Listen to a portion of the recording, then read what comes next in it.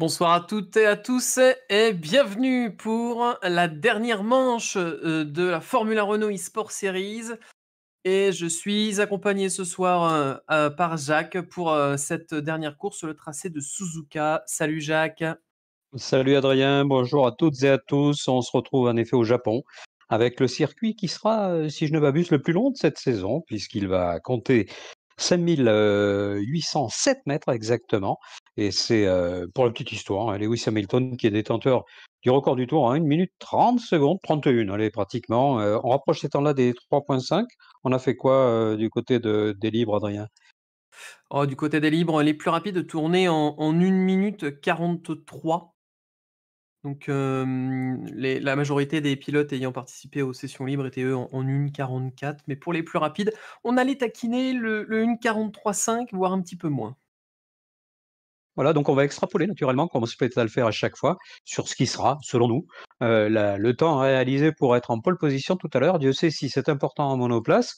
Et on verra qu'on devrait de, toute façon descendre un tout petit peu en dessous de ces temps, pas forcément beaucoup plus bas, mais il faudra au moins aller jouer, taquiner ces, chronos. On a vu des écarts extrêmement faibles à l'occasion euh, de la dernière épreuve euh, récemment organisée sur le circuit texan d'Austin. Et là, il n'y a pas de raison que ce soit différent. Le circuit est en sa configuration assez, assez semblable, même s'il y a quelques particularités avec des enchaînements très intéressants. On aperçoit d'ailleurs les mensurations de ce circuit japonais avec le format habituel des deux sessions de 10 minutes qualificatives et les deux courses de 25 minutes.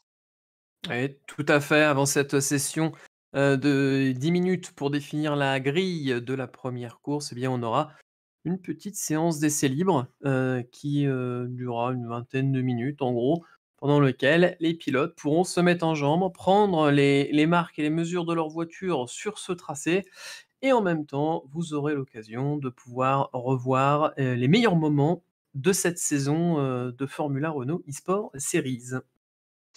Voilà, quelques particularités de ce tracé, on le répète, c'est un grand 8 quelque part, puisqu'il y a un pont. Et autre particularité, des grands bouts droits, des parties très rapides, des changements d'appui, on l'a dit, pas mal de virages aveugles. Hein, c'est un circuit qualifié de tracé à l'ancienne, c'est-à-dire que les murs ne sont jamais très très loin. Il faut faire preuve d'une relative prudence. Alors la prudence, alors qu'on aperçoit les, engagés Alders, Viscal, on retrouve également Alatalo, le Finlandais, Adjar, oh, le très sympathique pilote français, Okif et Bolukbachi pour, pour la première page de cette présentation des pilotes.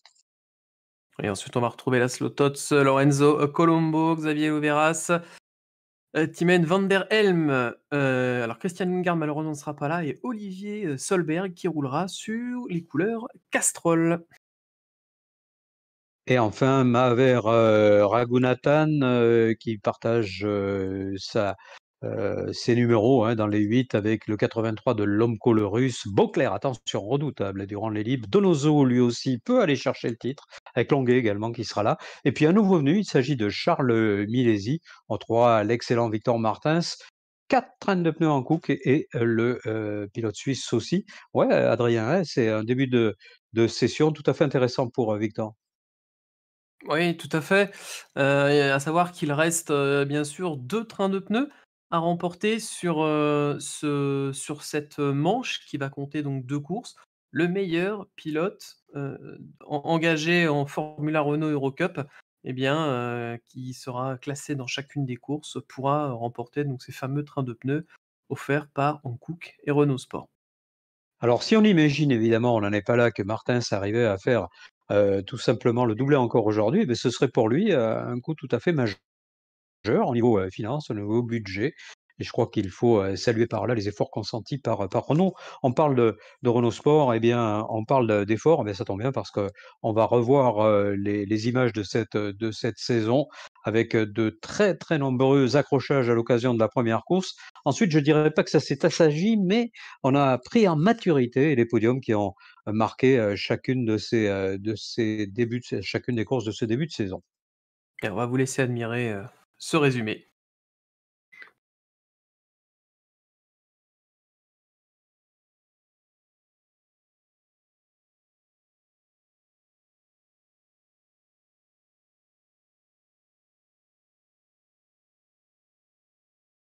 Et on peut, heu, aussi apprécier, heu, voilà, ce podium pour, la les courses 3 et 4 de cette, 2e rencontre de la saison et puis les points cumulés parce que là aussi, hein, tout reste à jouer pour cette épreuve de Suzuka qui va être particulièrement intéressante du coup et le terrible circuit d'Austin qui a été le théâtre de belles passes d'armes et on voit Victor Martins qui a été, heu, absolument royal, mais un Sem qui a été, heu, lui aussi plus que royal puisqu'il est, heu, installé en tête du classement, provisoire de ce championnat.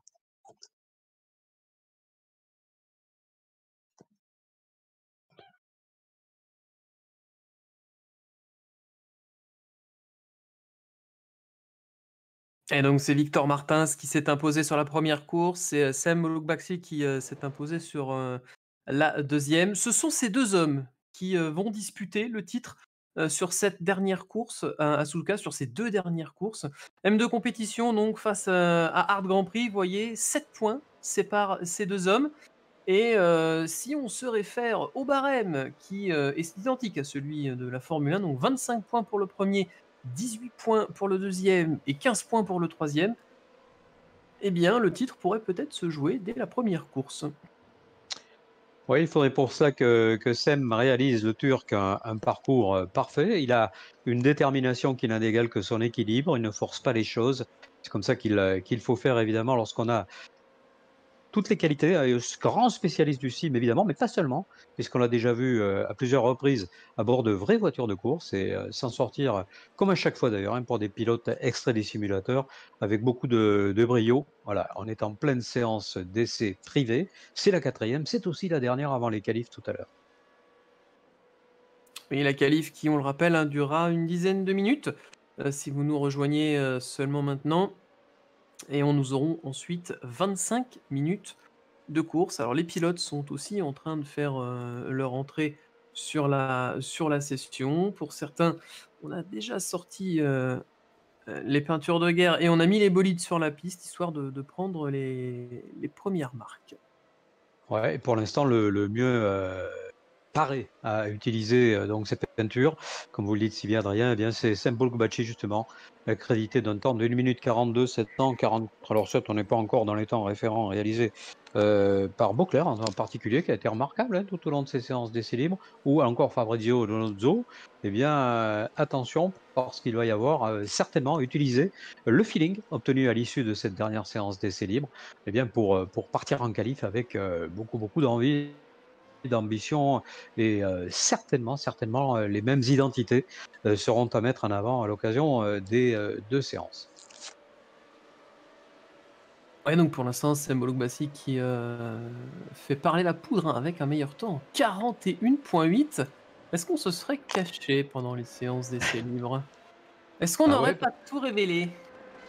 Eh bien, écoutez, j'ai l'impression qu'il a compris, en tout cas, cette petite ficelle, puisque il semble bien décidé à tout de suite, heu, de mettre un petit coup dans le moral de la concurrence, là, hein. Je pense pas que Victor Martin soit aussi facile que cela à impressionner, mais pour l'instant, en tout cas, on le voit en piste. On va très vite savoir, heu, s'il est, ou non capable d'aller rivaliser avec un temps pratiquement 2 secondes inférieur au meilleur temps réalisé en libre, heu, ce qui est quand même, plus que significatif.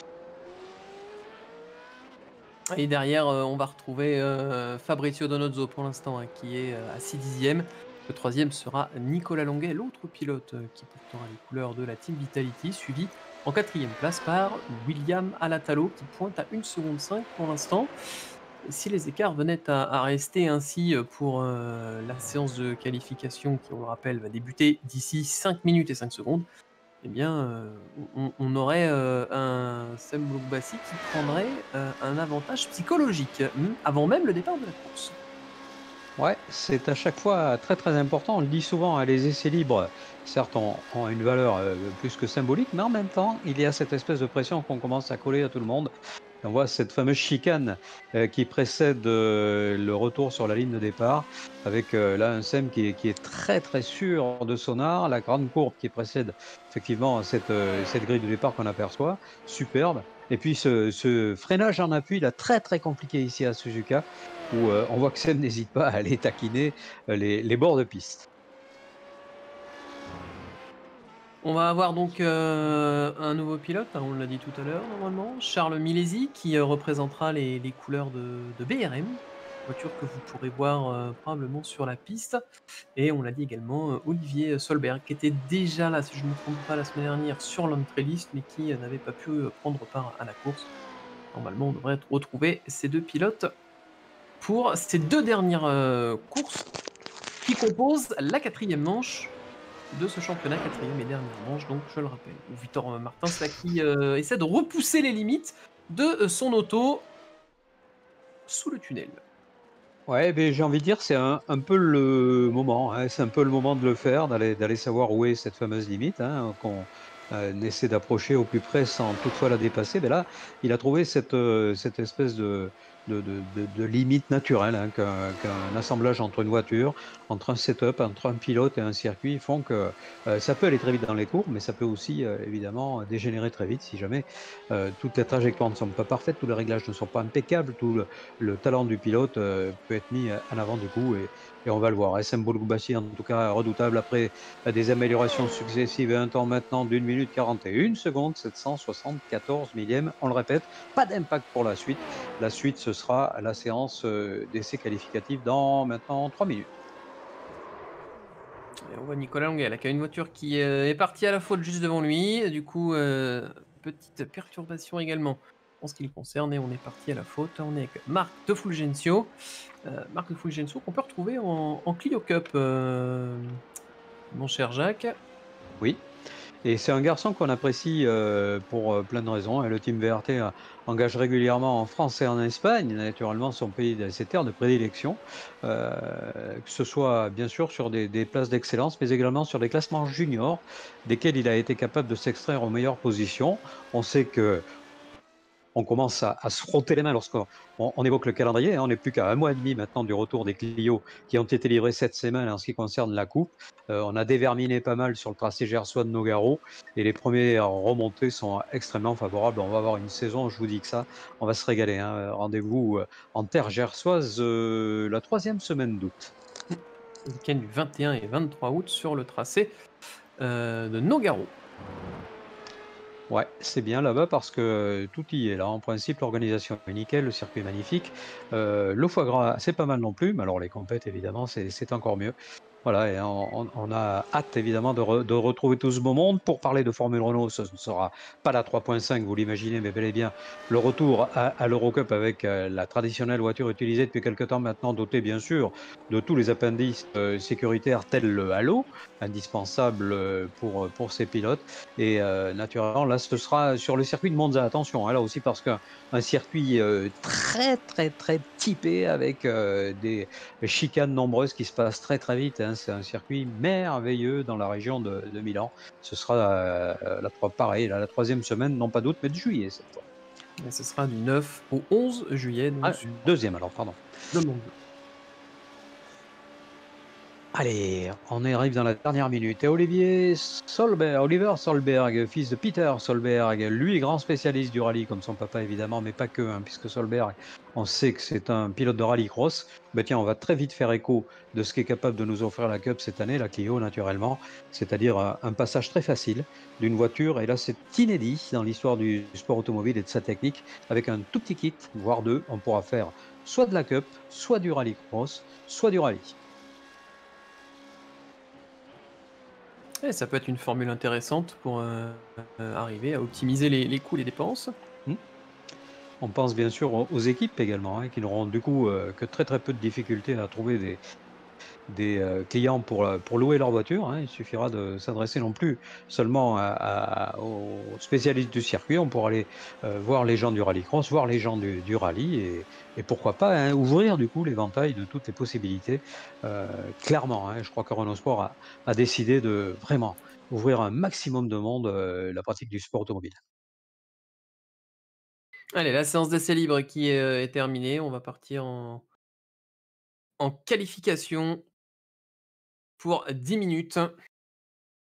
Et on a vu sur cette séance d'essai libre bah, déjà quelques pilotes se, distinguer.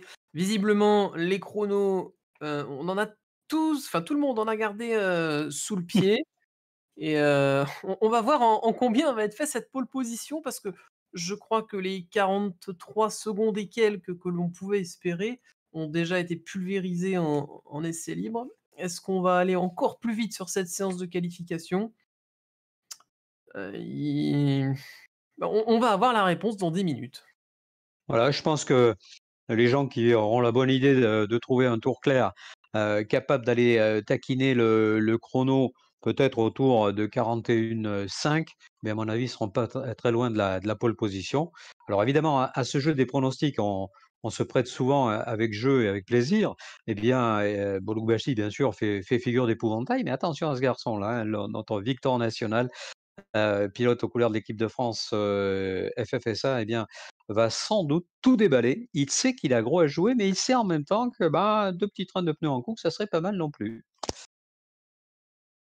C'est sûr que je il il il ne va pas refuser ces trains de pneus en Cook et pendant que la séance de qualification prend ses marques, heu, on a vu que sur la séance d'essais libres, heu, nous avions, heu, Romain Beauclerc qui était plutôt bien placé, puisque, il était, aux portes du top 5 en 6e place. Et Romain Beauclerc, ce week-end, pour ceux qui suivent un petit peu toute la partie sim racing et cetera, et bien ce week-end, il y avait les 24 heures du Mans organisées par, e-Racing donc.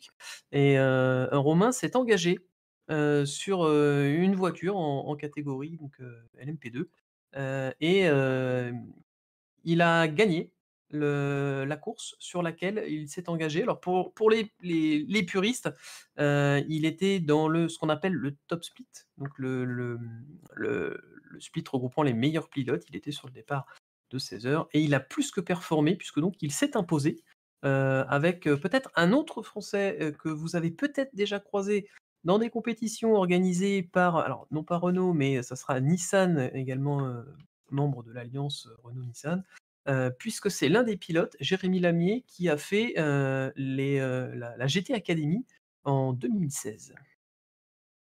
Donc Oui, alors c'est oui, absolument et ça nous invite évidemment à faire, ce lien, cette passerelle, cette, très, très bonne idée que d'avoir or organisé dans une période ô combien troublée cette e-sport series, car, effectivement, finalement, il y a une certaine redondance entre les qualités mises en avant, par la dure réalité, mais aussi par la difficulté de la simulation qui n'est pas très, très loin de la réalité. D'ailleurs, on voit des images qui sont à chaque fois saisissantes de de ce que peuvent, offrir maintenant, toute l'ingéniosité des gens qui ont œuvré pour ce que, ce qui est maintenant quelque chose de de de commun, c'est-à-dire, que tout le monde ou presque tous les passionnés de sport auto ont chez eux, quelque part dans la maison, caché ou pas, un volant, un une console de jeu et que de temps en temps, allez, on se lâche un petit peu. Chose qu'est en train de faire Victor Martins pour aller, boucler peut-être, on le souhaite en tout cas, un tour rapide. Voilà, relance avant, la ligne d'arrivée maintenant et le temps de Victor, 1 minute 43 157.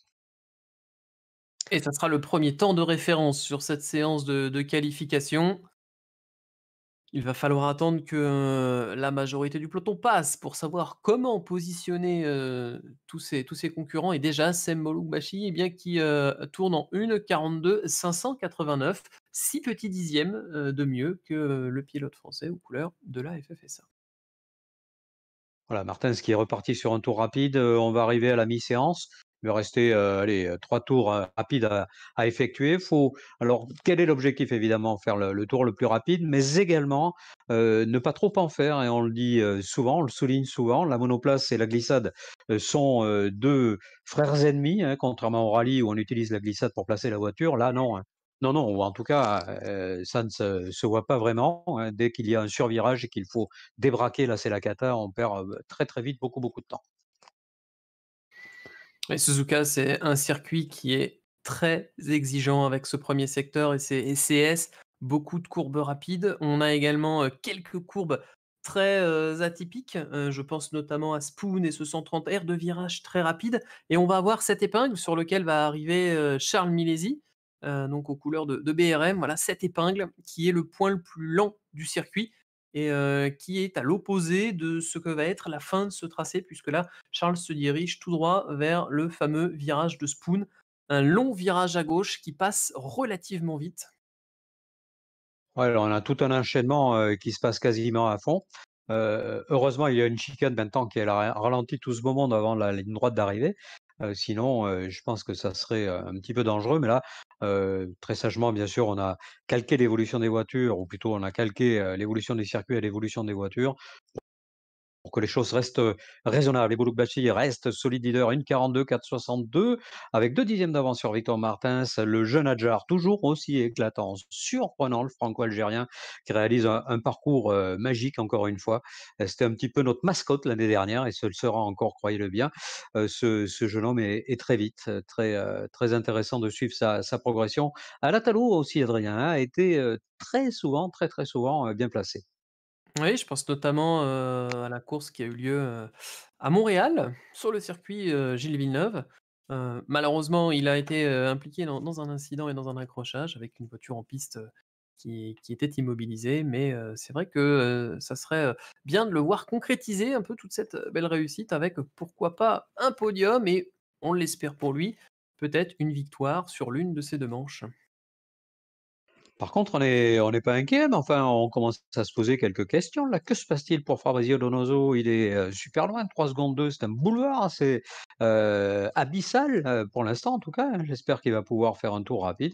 Vous le disiez, hein, il y a aussi une stratégie, heu, de cacher un petit peu son jeu. Attention, parce que quelquefois, ce jeu-là peut être dangereux puisqu'on est condamné à faire, ensuite, une dernière partie de session. Heu, pour l'instant, ça n'est pas le cas. Ouais, après il y a aussi, peut-être la prise de risque qui, peut être, prise en compte sur cette qualification. On essaie de repousser la limite au plus loin et il faut savoir que si, le jeu estime que vous exploitez un petit peu trop le tracé, il vous distribue une pénalité et dans le même temps, il vous annule votre tour. Donc c'est peut-être aussi pour ça que l'on retrouve Fabrizio Donozzo à, maintenant 3 secondes 8 puisque Sem Bologbassi, eh vient d'enfoncer le clou en passant sous la barre des 1,42 avec un 41 877. Alors là, pour le moral de pas mal de pilotes, ça va être, très, très, très compliqué. Voilà, nous voilà rassurés. Fabrizio Donoso, mais il me semble bien qu'il avait fait la même chose à Austin, réalise un tour rapide à 2 minutes maintenant de la fin du temps réglementaire. Ça s'améliore pour, heu, Alatalo. Très bon tour pour Alatalo qui se rapproche, un petit peu de Bologbashi, mais surtout qui dépasse Victor Martins. Pas pour grand chose, on est bien d'accord, pour 8 petits millièmes de seconde. Oui, 8 petits millièmes de seconde. Est-ce qu'il va pouvoir faire l'arbitre, notre ami, William Alatalo sur cette, heu, 4 manche de la saison? Ben, écoutez, heu, on n'a pas l'impression alors je sais pas quel est le niveau de relation entre la France et la Finlande. On espère qu'il est bon. Ouh là, alors qu'on voit Martins qui est parti à la faute, donc ça sera terminé pour lui. Il ne pourra partir qu'en je pense en tout cas, en deuxième ligne de la grille de départ, ce qui est déjà fort, fort intéressant. Mais alors le boulevard créé par Bologbashi est absolument incroyable, conforme en tout cas, heu, vraiment à ce qu'il a fait dans les premiers mètres de cette qualification. Il sera indétrônable de cette pole position ici à Suzuka pour la finale. Issam Bassi, pour le moment, toujours en tête de cette, heu, séance de qualification. Qui va arriver à faire tomber le pilote turc de, euh, la pole position?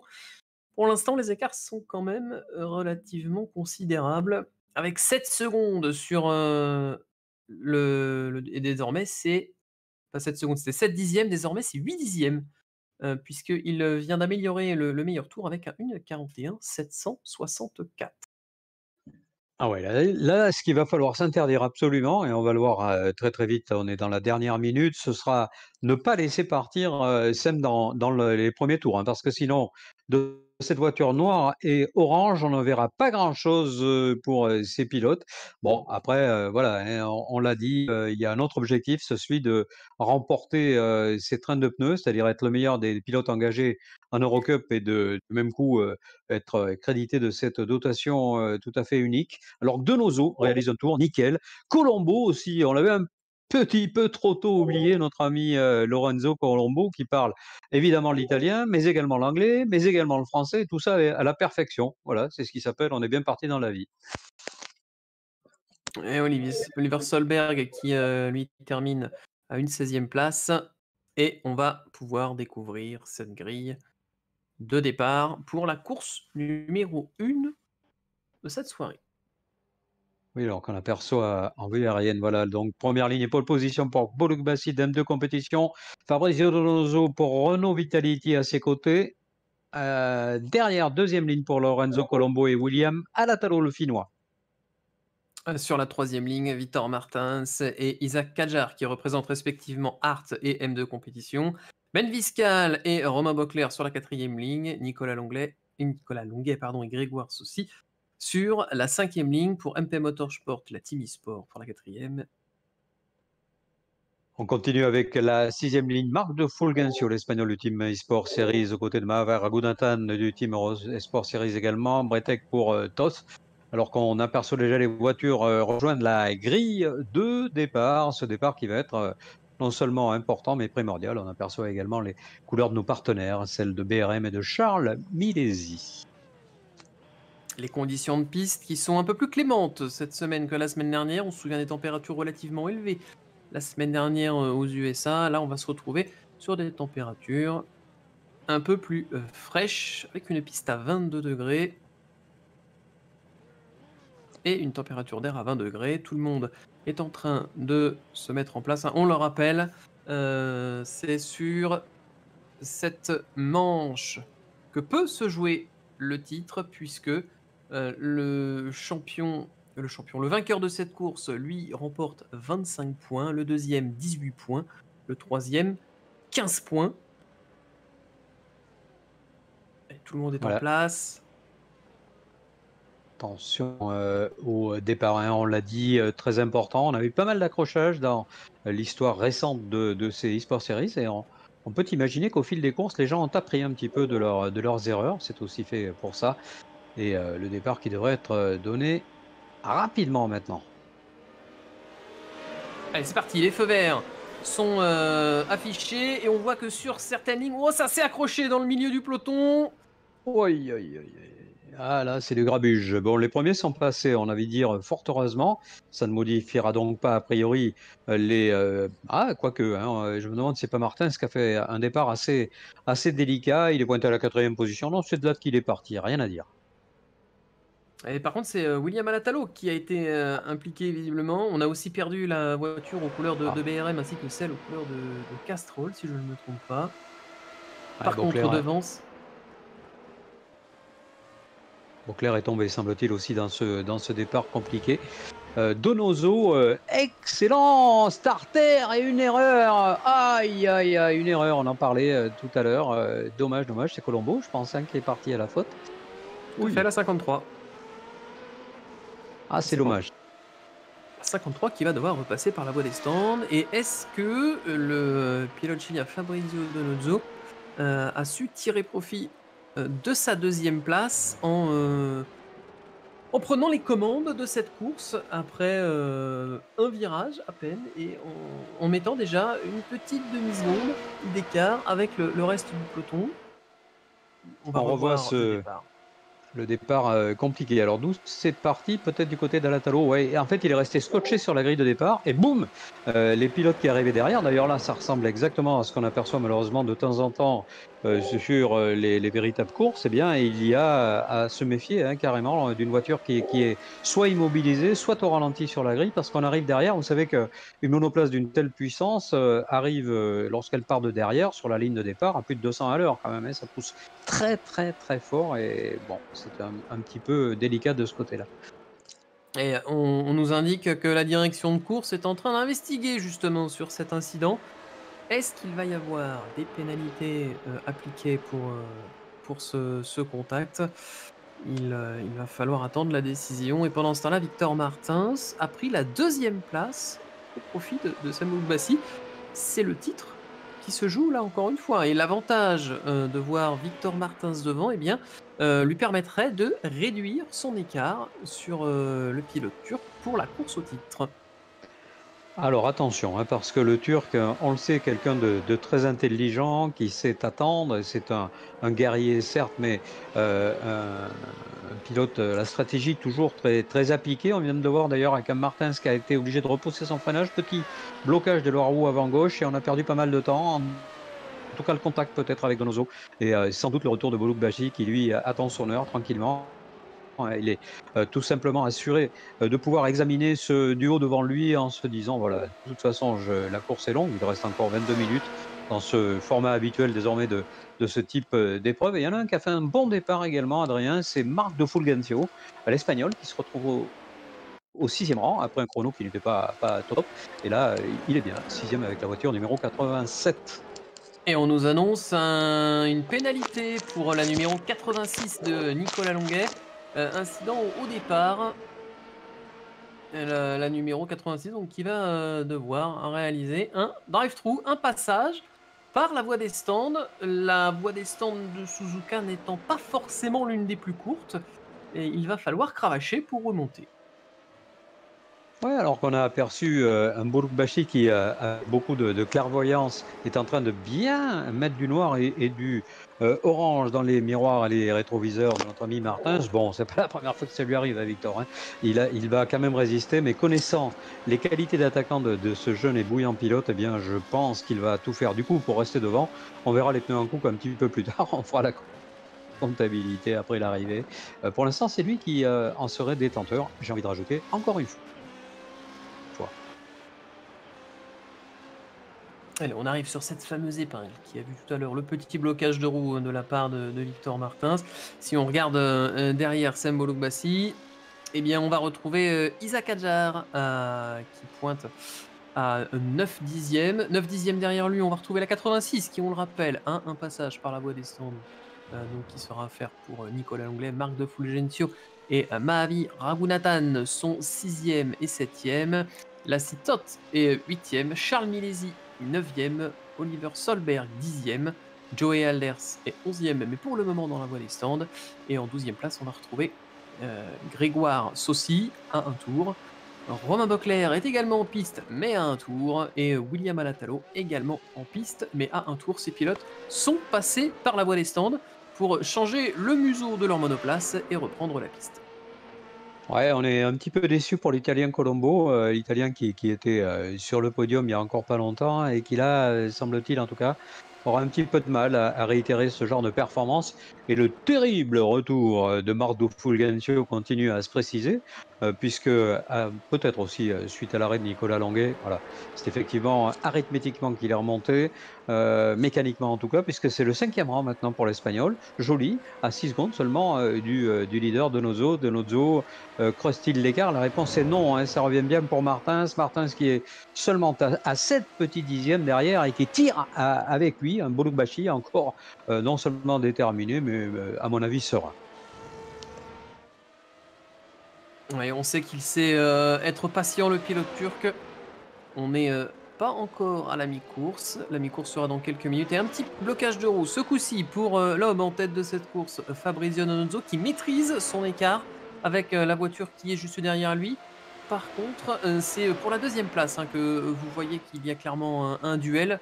qui, on le rappelle, oppose les deux pilotes qui sont en lice pour le titre. Fabrizio Donozzo pour le titre est troisième. Il a 73 points mathématiquement, il peut encore jouer euh, le titre, euh, mais il faut qu'il remporte au moins une course et que ses deux adversaires directs connaissent des soucis relativement importants qui leur permettent de mettre que très peu de points. Donc statistiquement possible, mais le pourcentage de chance d'avoir ce genre de résultat reste quand même relativement faible. Voilà, alors on, ressent votre côté euh, statisticien, cher Adrien. Et puis, euh, bien entendu, que Martin et Boulouk Bachi, euh, on le croit, on le souhaite en tout cas, ne vont pas s'accrocher. Hein. Ça serait terriblement dommage pour l'un et pour l'autre. Euh, mais on ne sait jamais, la compétition nous a réservé un, tel lot de surprises et à chaque fois on, y fait référence, mais c'est parce qu'on aime ça. Euh, on, revoit cette finale de la Clio au Paul Ricard l'année dernière où jusqu'au tout dernier tour on, ignorait complètement qui serait titré.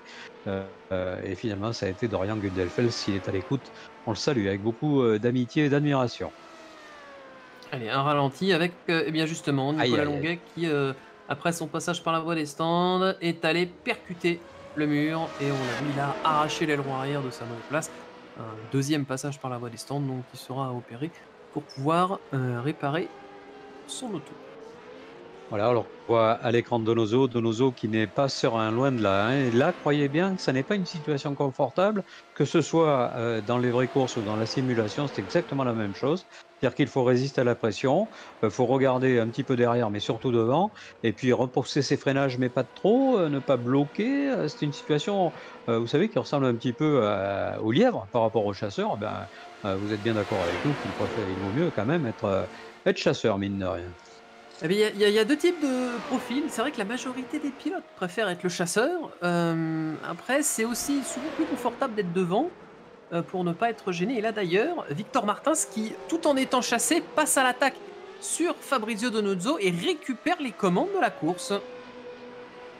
Alors là, on arrive à la mi-course et là, ça commence à être intéressant. On voit qu'on est allé euh, contrarier les, ambitions euh, de bénéficier euh, de l'aspiration pour euh, Donoso, Martins qui croisait des croises pour essayer de couper cet aspi. Oh, attaque très très compliquée là pour Donoso. Ça touche un petit peu à la Rexel. Ce virage est important parce qu'il dicte ensuite la vitesse dans les enchaînements et on voit que ce rusé Bolubati en a profité pour tout de suite reprendre l'aspi de Victor Martins. Il ne va pas lâcher l'affaire aussi vite. Eh non, les deux, je crois qu'ils vont faire la course l'un derrière l'autre euh, en s'échangeant les positions. Il faudra pas compter sur Victor Martins pour euh, laisser la pole, position et la première place au pilote turc, mais je crois qu'il en fera de même pour le pilote turc. hein. S'il peut essayer euh, d'augmenter son écart sur euh, Victor Martins au championnat, il ne va pas se gêner. Voilà, en même temps, on est complètement heureux euh, de devoir attendre, on espère que ce sera le cas la toute dernière course de cette saison, c'est-à-dire ce qui nous sera proposé tout à l'heure, après la deuxième séance qualificative, pour connaître l'identité de ce vainqueur, premier vainqueur de l'histoire du sport automobile, en tout cas chez Renault Sport en ce qui concerne ces euh, e-sport euh, series, et euh, qui de Martins, qui de Bolugbashi, euh, qui pourquoi pas de Donoso. Mais là, vous le disiez Adrien, ce serait euh, quand même, quand même un concours de circonstances assez, assez inouï, mais encore une fois, on ne sait jamais. Après, il faut pas oublier que Fabrizio a manqué une course. Et euh, s'il avait pu participer à toutes les courses, euh, nul doute que ça aurait été le troisième homme à pouvoir jouer ce, titre, très probablement.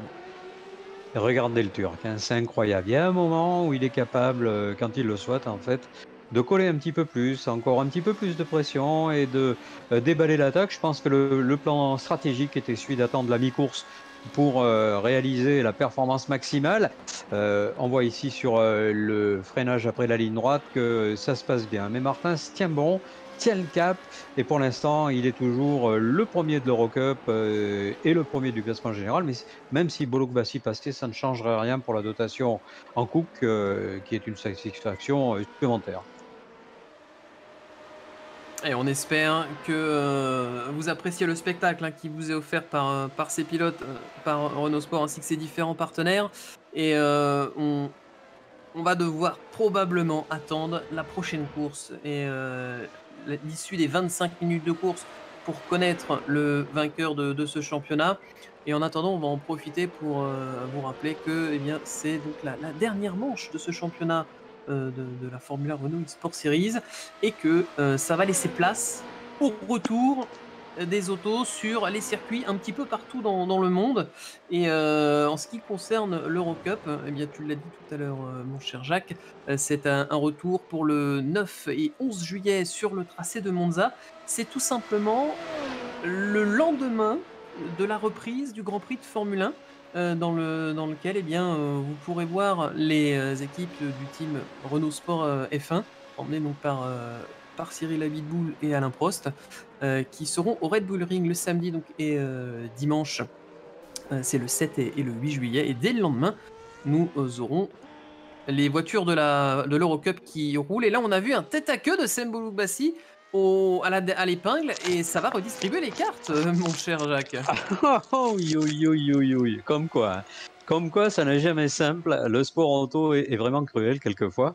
Et là, euh, nouvelle démonstration euh, que rien n'est jamais acquis. On revoit les images et la raison pour laquelle Boulouk Bassi, voilà, et garde l'extérieur. Il essaie de décroiser à la sortie. Martins garde la corde, c'est logique. Et un contact derrière avec Donoso. Et attention Fabrizio qui pourrait du coup se faire un petit peu tirer les oreilles, même si à mon sens, rien de tout ça n'était volontaire, bien sûr.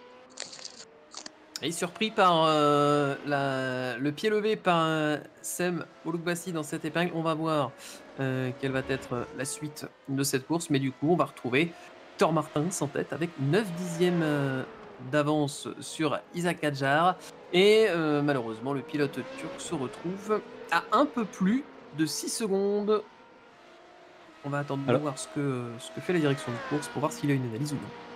Alors là, on serait quand même euh, particulièrement heureux de retrouver le jeune Isaac Adjar euh, sur le podium de cette, de cette course. Rappelons qu'il a intégré le groupe euh, il y a seulement une course, donc l'expérience n'est pas là, le talent est là, à l'image de, de son talent au euh, volant euh, des euh, voitures du championnat de France F4 auquel il, a participé déjà et reparticipera cette année. Isaac, on, le rappelle, un- une révélation véritable pour toute l'Algérie, toute la France qui suivent l'évolution de ce gamin surdoué. La direction de course a statué. Eh bien, la numéro 85 de Fabrizio Donozzo aura un drive-through à effectuer en passant par la voie des stands. Et on retrouvera donc Isaac Adjar en deuxième position et euh, Bolukbassi qui repassera en troisième position. C'est dommage pour, euh, pour Fabrizio qui là Oui. est en train de remettre la pression sur euh, le leader. Ouais, parce que comme tu le disais fort bien, Adrien, il n'y avait aucun geste volontaire. Mais voilà, c'est, il faut bien à un moment que les juges arbitres que l'on salue au passage, hein, parce que croyez bien que ça n'est pas un rôle facile. Ça s'appelle la commission sportive, ça s'appelle la direction de course, qui sont là. Ils ont tous des murs d'écran euh, sur les circuits modernes, particulièrement les circuits de F1 où évolue euh, régulièrement et tout le temps d'ailleurs euh, l'Eurocup de Formula Renault. Eh bien, ils sont là pour voir, vérifier, revoir et donner des avis communs sur l'examen de, faits de course. Euh, Tout ceci pour que l'équité sportive soit respectée. On en profite pour faire un petit euh, coucou à toute l'équipe technique également, dont on sait que Chronosport est particulièrement attaché au respect de cette réglementation technique, de manière à ce que personne ne soit tenté de tricher, que tout le monde, tout le monde ait bel et bien la même voiture. Alors pourquoi euh, a-t-on ce souhait-là? Eh Bien, c'est que encore une fois, ça n'est pas par hasard si tous les pilotes de Formule 1 ou presque sont passés par cette école formidable et sont passés par cette sélection incontournable pour espérer un jour aller en Formule 1. Ouais, c'est tra- d'ailleurs la Formule 1, c'est ces tracés sur lesquels la Formule 1 Renault Esport Series vous a emmené pendant, euh, pendant la saison, avec comme par exemple euh, Kota qui était euh, le, tracé de la manche précédente. Nous avons eu euh, Montréal avec le circuit Gilles Villeneuve et Interlagos au Brésil pour la manche d'ouverture, pendant que Fabrizio Donozzo repasse par la voie des stands. Alors, je vous laisse imaginer le degré de frustration lorsqu'un pilote qui a cravaché pendant, euh, comme il l'a fait, euh, 15 minutes, se voit contraint de passer par la voie des stands, de rouler au ralenti, parce que vous le savez sans doute, il y a une vitesse maximale à respecter dans les stands. Et lorsqu'on a roulé à, à 180 de moyenne pendant, pendant 20 minutes et qu'on vous demande euh, de rouler à, à- à 50 ou 60 km/h, évidemment, c'est terrible. Ça, vous rappelle sans doute lorsque vous sortez de l'autoroute et qu'on vous demande de rouler à 80. C'est pas terrible non plus, il faut bien le dire. Et on a vu la manœuvre de Laszlo Toth sur Maver Raghunathan qui euh, a récupéré la sixième position, pointant désormais à 23 secondes de la voiture de tête. Alors, il y, a- un écart sur lequel on, porte notre attention également, c'est celui qui se réduit comme peu de chagrin entre, notre ami Isaac Adjar et euh, le pilote Sembo Lukbashi, puisqu'il n'y a plus maintenant euh, qu'un petit peu plus de 3 secondes et demie, donc attention, tout reste euh, éminemment possible. J'ai envie de dire, hein, quelque part, je pense que Victor, maintenant, occupant la tête de la course avec 7 dixièmes d'avance sur euh, le démonté Isaac Adjar, doit maintenant assurer euh, cette, euh, cette place de leader. Il doit prendre tous les points s'il veut avoir beaucoup de chances de, de remporter ces eSport Series. Et pour cela, il a peut-être un, compatriote qui pourrait lui jouer quelques tours, parce que cet écart, encore une fois, c'est réduit. Il n'y a plus que 6 dixièmes entre les deux voitures de tête. Oui, pour le championnat, ça serait intéressant pour Victor de conserver cette première place. Faut pas oublier qu'il y a aussi la dotation de pneumatiques qui peut avoir son importance. Et sauf erreur de ma part, Isaac Adjar n'est pas inscrit en, Eurocup euh, en 2020 et donc n'est potentiellement pas candidat à cette fameuse dotation offerte par Hong Kong. Ouais, exact. Il, veut- il doit falloir même aller chercher assez loin pour retrouver un des pilotes engagés en Eurocup. Si jamais ça n'arrive pas jusqu'au bout euh, pour Victor Martin, ce qu'on ne souhaite euh, évidemment pas. Quant à Isaac, lui, clairement, hein, il est du haut euh, de euh, cette euh, réputation déjà acquise en, en F4, capable d'être un des candidats sérieux pour l'avenir en Eurocup de Formula Renault. C'est sûr qu'il en fera partie, peut-être pas cette année, mais l'année prochaine, c'est sûr, puisque, encore une fois, a priori, hein, on devrait le retrouver en championnat de France euh, F4, en championnat très international, qui utilise le tout nouveau moteur Renault de 180 chevaux de 30 kg plus léger que celui qu'utilisaient euh, déjà ces, voitures l'année passée. On rappellera, tiens, pour la petite histoire également, et pour refaire un petit cocorico, que euh, c'est euh, du Made in France également au niveau des châssis qui sont construits à Manicourt par Bertrand de Coster et, toute l'équipe donc de l'équipe Nigal.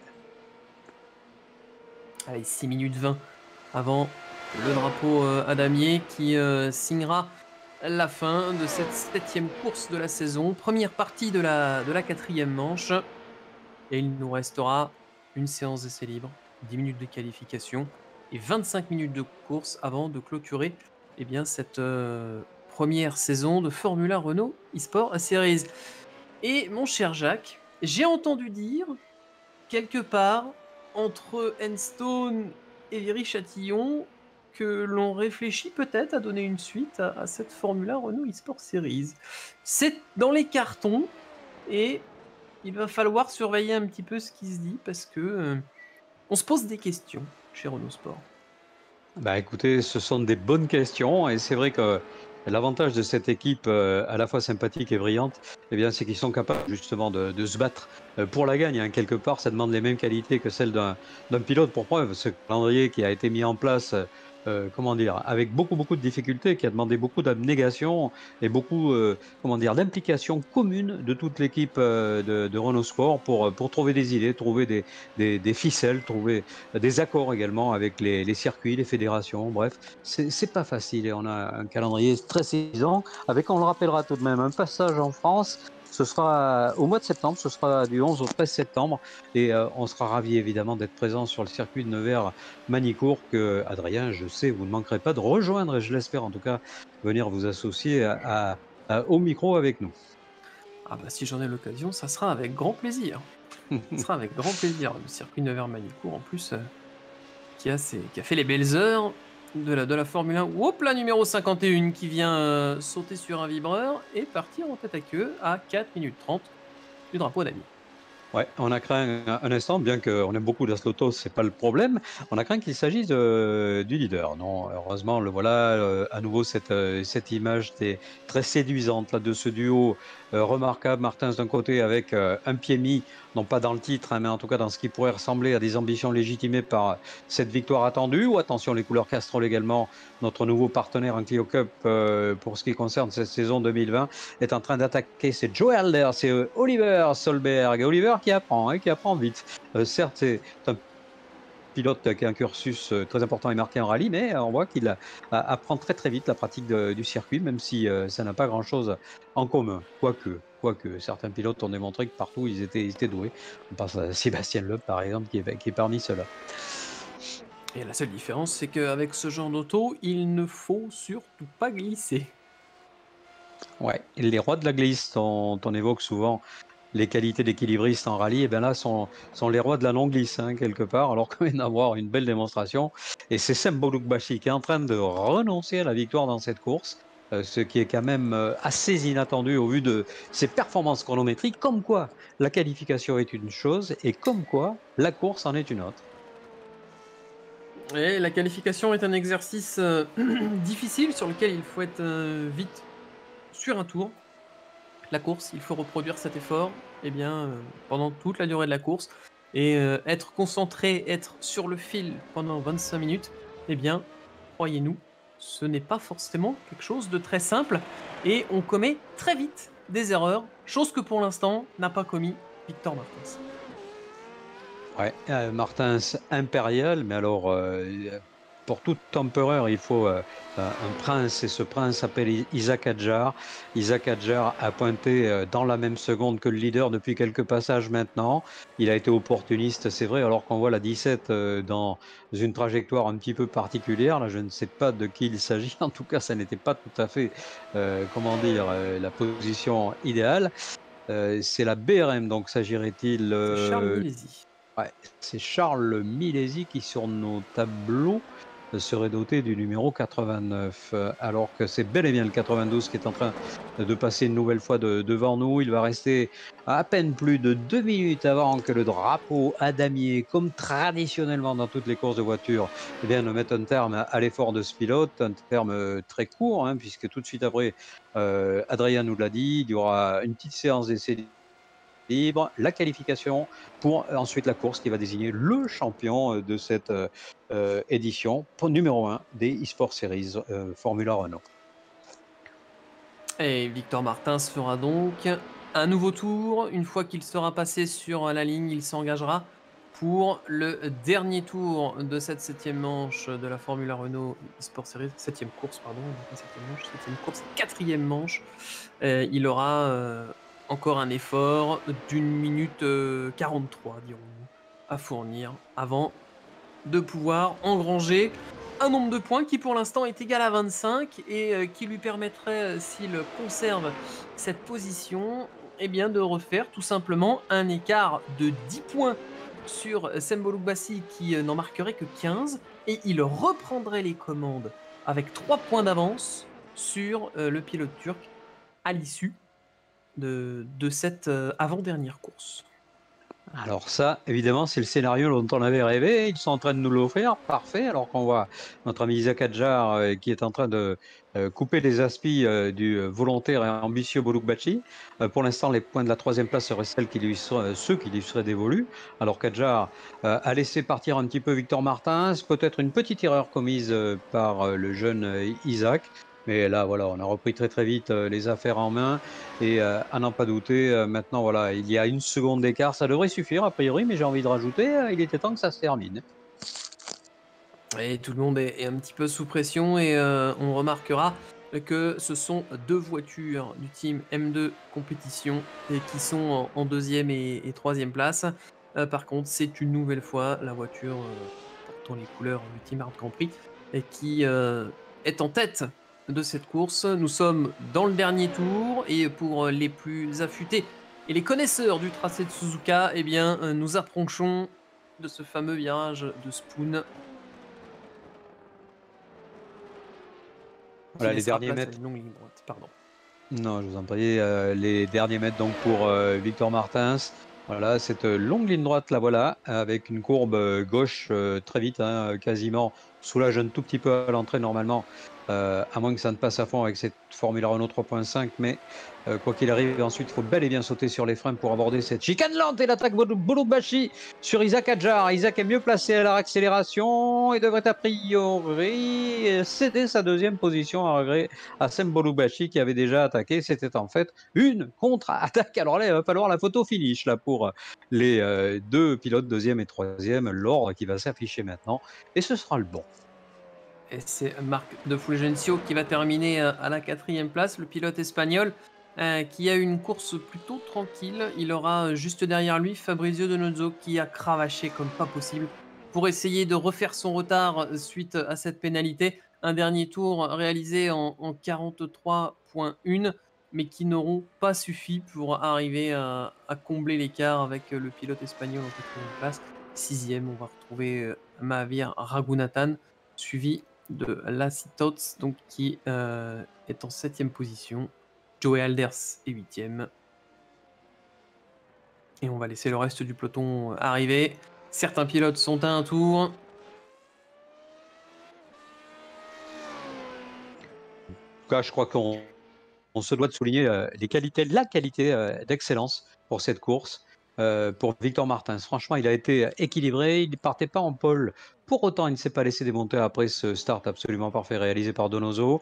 On rappelle que la bataille avec euh, heu, a été remarquable et que c'est une petite touchette bien involontaire, heu, qui a expédié, heu, donc Donoso, un petit peu plus loin. On aperçoit ce classement. Deux voitures de M2 compétition qui vont, intégrer le podium derrière Martins pour les couleurs d'Art Prix. Et la Team Sport Series et Marc de Fulgentio qui est quatrième, Fabrizio Donozzo avec les couleurs du Team Vitality, cinquième, Mavero Ragunathan et le Team Sport Series sixième, Bayatek avec la Slotot septième, JD Motorsport, Joey Alders huitième, et deux voitures du Team Sport Series en neuvième et dixième place avec Oliver Solberg et Romain Bocler. Voilà, on peut même avoir quelques espérances euh, pour la la deuxième qualification euh, qui pourrait nous inviter à avoir quelques surprises si, bien entendu, euh, les pilotes qui sont tombés dans ce départ euh, peuvent revenir aux avant-postes, ce qui paraît tout à fait dans leur corde, hein, pas de souci. Hein. Voilà, on voit podium. Oui. On va accueillir justement quelques pilotes qui ont terminé sur ce podium et le premier que l'on va avoir, eh bien, ça sera Victor Martins. Bonsoir Victor. On va laisser Victor euh, enlever euh, son casque et ses gants. Le temps de descendre de la voiture. Pour pouvoir faire une petite interview. Voilà, salut Victor. Salut. Salut à tous. J'espère que vous allez bien. Alors pour nous ça va très bien et on a eu un super spectacle et euh, quelques points de repris en ce qui te concerne au championnat. ton concurrent direct a sauvé quelques points dans le dernier virage, mais au final, euh, eh bien, euh, tu, vas revenir et resserrer l'écart pour cette dernière course qui va donc euh, devoir réserver tout son, spectacle pour couronner le champion de la Formule 1 Renault Esport Series. Exactement. non, c'était très très chaud. Vous avez pu le voir, je pense. j'ai fait un, départ correct. j'ai gagné une position. Après, j'ai voilà, j'ai attaqué directement. J'avais pas fait des bonnes qualifs. j'ai eu voilà, je me suis sorti dans mon avant-dernier tour et on sait que le grip, voilà, il, venait de plus en plus. Donc voilà, j'ai fait que cinquième ou sixième, je sais plus exactement. Et puis après, j'ai attaqué directement Sem parce que j'ai vu son temps en qualif et, voilà quoi, c'était vite. Donc fallait passer devant lui et, et, contrôler cette course. Après, voilà, j'ai attaqué aussi Fabrizio j'ai mené la course et puis après j'ai bien défendu. Ils ont fait des petites erreurs derrière et puis je suis resté calme et j'empoche voilà la première victoire de la soirée.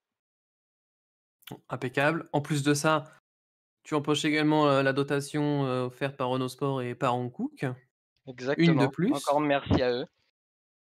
Toujours sympa de se battre pour, pour un petit objectif comme ça. Ouais, ça, ça, aide un petit peu. Et la dernière course, du coup, quel va être l'objectif, l'état d'esprit pour essayer d'aller remporter ce titre? Bah, Déjà, de pas trop y penser, juste faire voilà, agressif, attaquer, tout en restant correct, forcément, mais surtout faire des bonnes qualifs, parce que se mettre aux avant-postes, en première ligne, pour, parce que Sem, il va aller vite, et voilà, il faut le concurrencer. Bon, et eh bah, très bien. Je ne sais pas si tu veux rajouter quelque chose, Jacques? Non, saluer, euh, l'excellent Victor et euh, croiser les doigts pour, euh, pour la suite, Victor et tiens, juste une question, si tu avais le choix entre, gérer, cette course en tête et t'emparer du titre, mais avec la menace de Boglubachi ou gagner en étant plus raisonnable un un nouveau train de pneus, qu'est-ce que tu prendrais? Comment ça? J'ai pas, Non, si tu as le choix entre gagner, le championnat ou gagner les pneus, tu fais quoi? Gagner le championnat. Ah, joli, c'est bien. Là, on te reconnaît, on te reconnaît. Bien sûr. Eh, ah, merci, Victor. Salut, à tout à l'heure. Et à tout à l'heure. Allez, on va pouvoir euh, passer à une nouvelle interview qui sera la dernière en attendant la, prochaine course. On va accueillir Fabrizio Donozzo, donc, qui euh, malheureusement, avec un petit passage au stand, a, vu le podium lui échapper. Salut euh, Fabrizio. Bonsoir, bonsoir. oui, comme tu as dit, j'ai un petit drive-through malheureusement. Alors, qu'est-ce que comment, mmh, comment ça s'est passé pour toi ce ce petit contact-là? De notre point de vue, on n'a on pas eu de de on n'a pas vu d'acte volontaire. C'est, le petit lever de pied du pilote turc devant qui t'a surpris? Alors, bon, je savais que ça allait être, beaucoup plus lent, hem, à la chicane vu qu'ils étaient en côte à côte. Je j'ai pensé prendre assez de précautions, mais ils ont ils ont ralenti plus que je ne le pensais, heu, à la corde. Je pense qu'il y a un poil de netcode aussi, toi qui qui connais un peu, qui connais un peu, ce ce problème-là aussi. Bon, c'était pas énorme, c'était, de ce que m'a dit, Nico, en replay, c'était une dizaine de centimètres à peu près. Oui. Donc ouais, ma mal malheureusement, j'ai fait le contact. Bon, forcément, c'était pas volontaire parce que, joue les 3 le championnat, donc bon, c'est pas quelque chose, je je je me je ne serais pas fier de gagner comme ça. Mais ouais, bah, forcément désolé dé désolé à Chem qui ça lui coûte forcément des points lui aussi et puis, heu, puis, bah, malheureusement pour moi, je pense que là, il suffirait, d'un miracle pour que j'ai les points, je crois. Suffirait pas donc Le mathématiquement quand même, c'était compliqué au au début oui, oui, de oui, oui, au début de la course. Le fait d'avoir raté une course, oui, clairement se se fait sentir. ouais. Heu, effectivement, ouais, mais même si, par exemple je gagnais la première, re Victor et Chem auraient eu un bon résultat de toute façon derrière, sûrement avec un podium donc Je je je pense pas avoir, j'aurais pas pensé gagner le titre ce soir de toute façon. Mais c'est vrai que j'aurais aimé quand même me battre jusqu'au jusqu'au dernier tour avec, heu, Chem et Victor parce que franchement ça a été, heu, toute la saison, enfin toutes les courses, heu, plus ou moins tendues avec eux, heu, plus ou moins serrées aussi et puis, ça on prend du plaisir à batailler, on est plusieurs comme ça. OK, bien. Merci, hem, Fabrizio. Je sais pas si Jacques veut rajouter quelque chose? Non, non, non, on avait bien saisi, heu, bah, tout le tout le bon sens de Fabrizio, heu, bravo. Merci beaucoup. Cool. Allez, bonne course! Merci.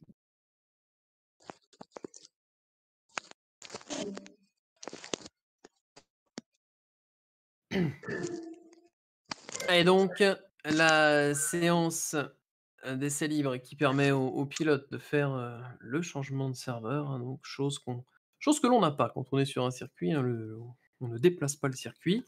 Heu, il faut, heu, laisser le temps au pilote de de rejoindre cette nouvelle session pour pouvoir nous offrir donc cette, cette 8e manche et on vous laisse redécouvrir, si vous ne l'avez pas vu, le petit highlight de la saison 2019.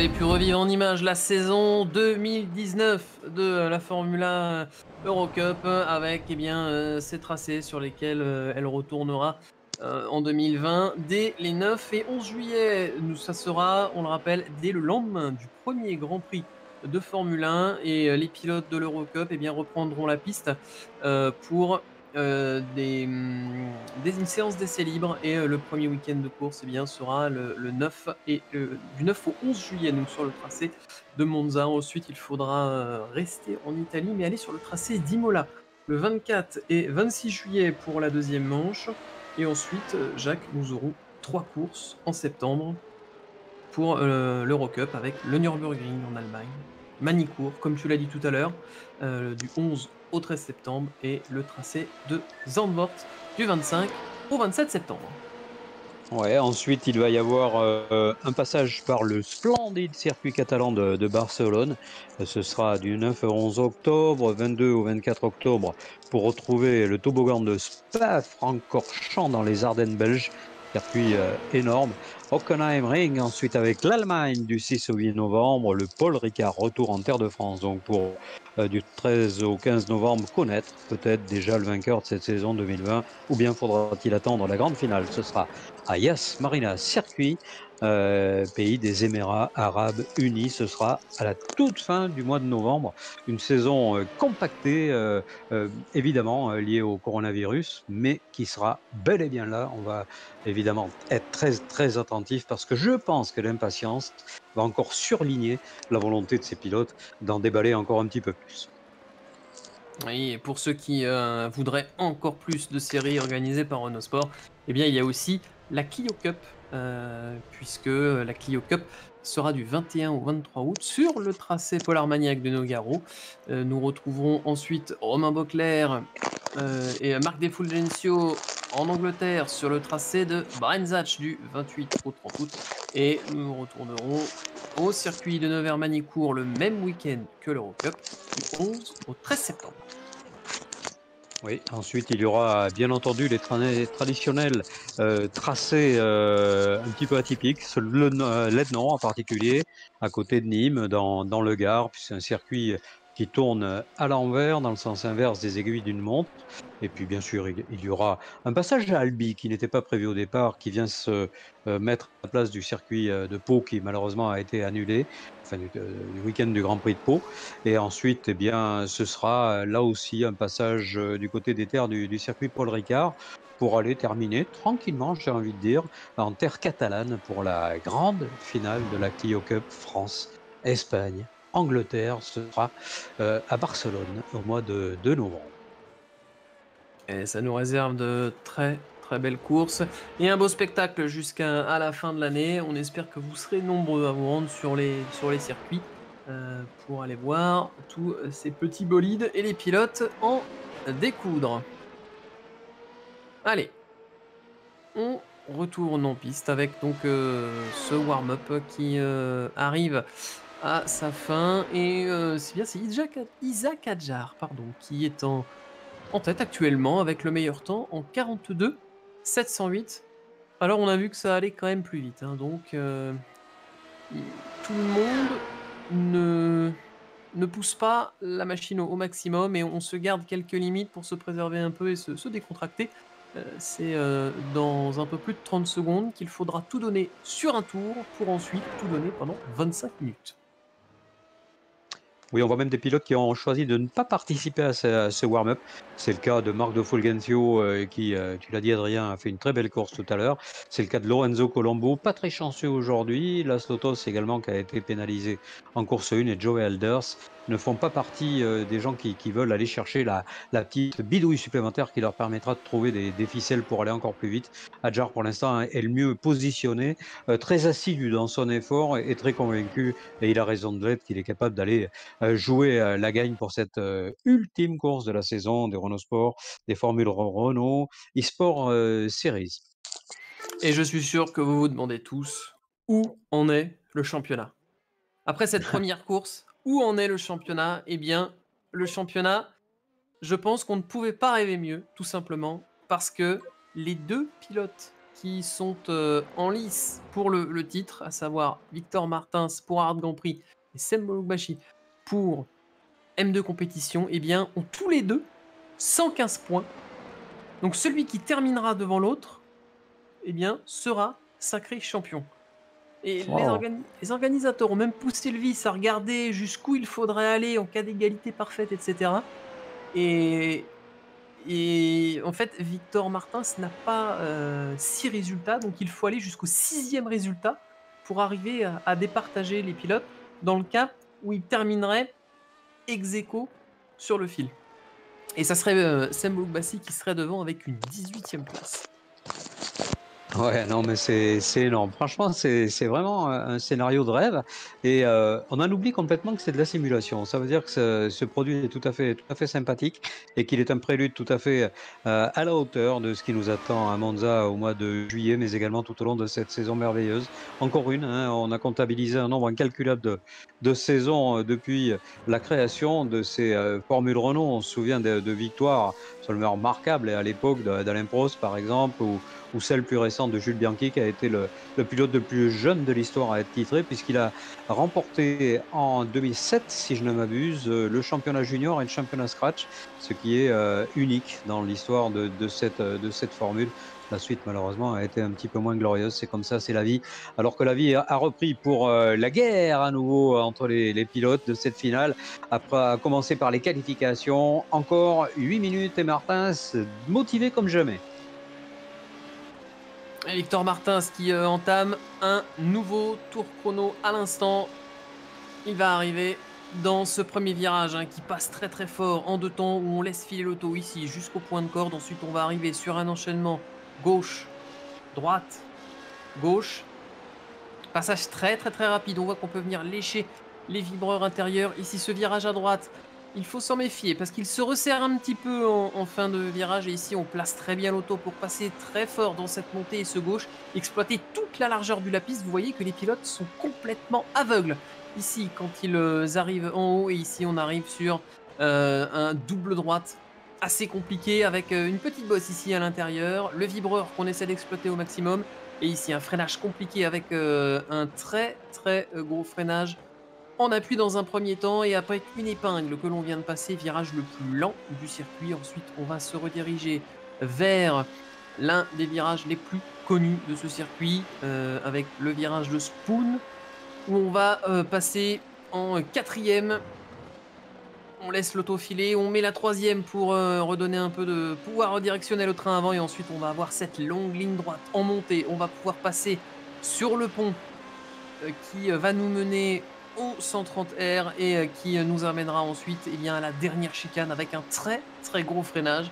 On est en sixième ici à fond et un très très gros freinage ici un peu avant les 50 mètres pour pouvoir escalader les deux vibreurs et on est sur le dernier virage qui passe euh, à fond et sans trop de problème. On peut serrer l'intérieur ici sur un tour de qualification pour réduire un petit peu la distance et gagner quelques mètres et essayer d'aller grappiller les petits dixièmes. Et vous venez de faire un tour en 1.43.137 à bord de la voiture de Victor Martins.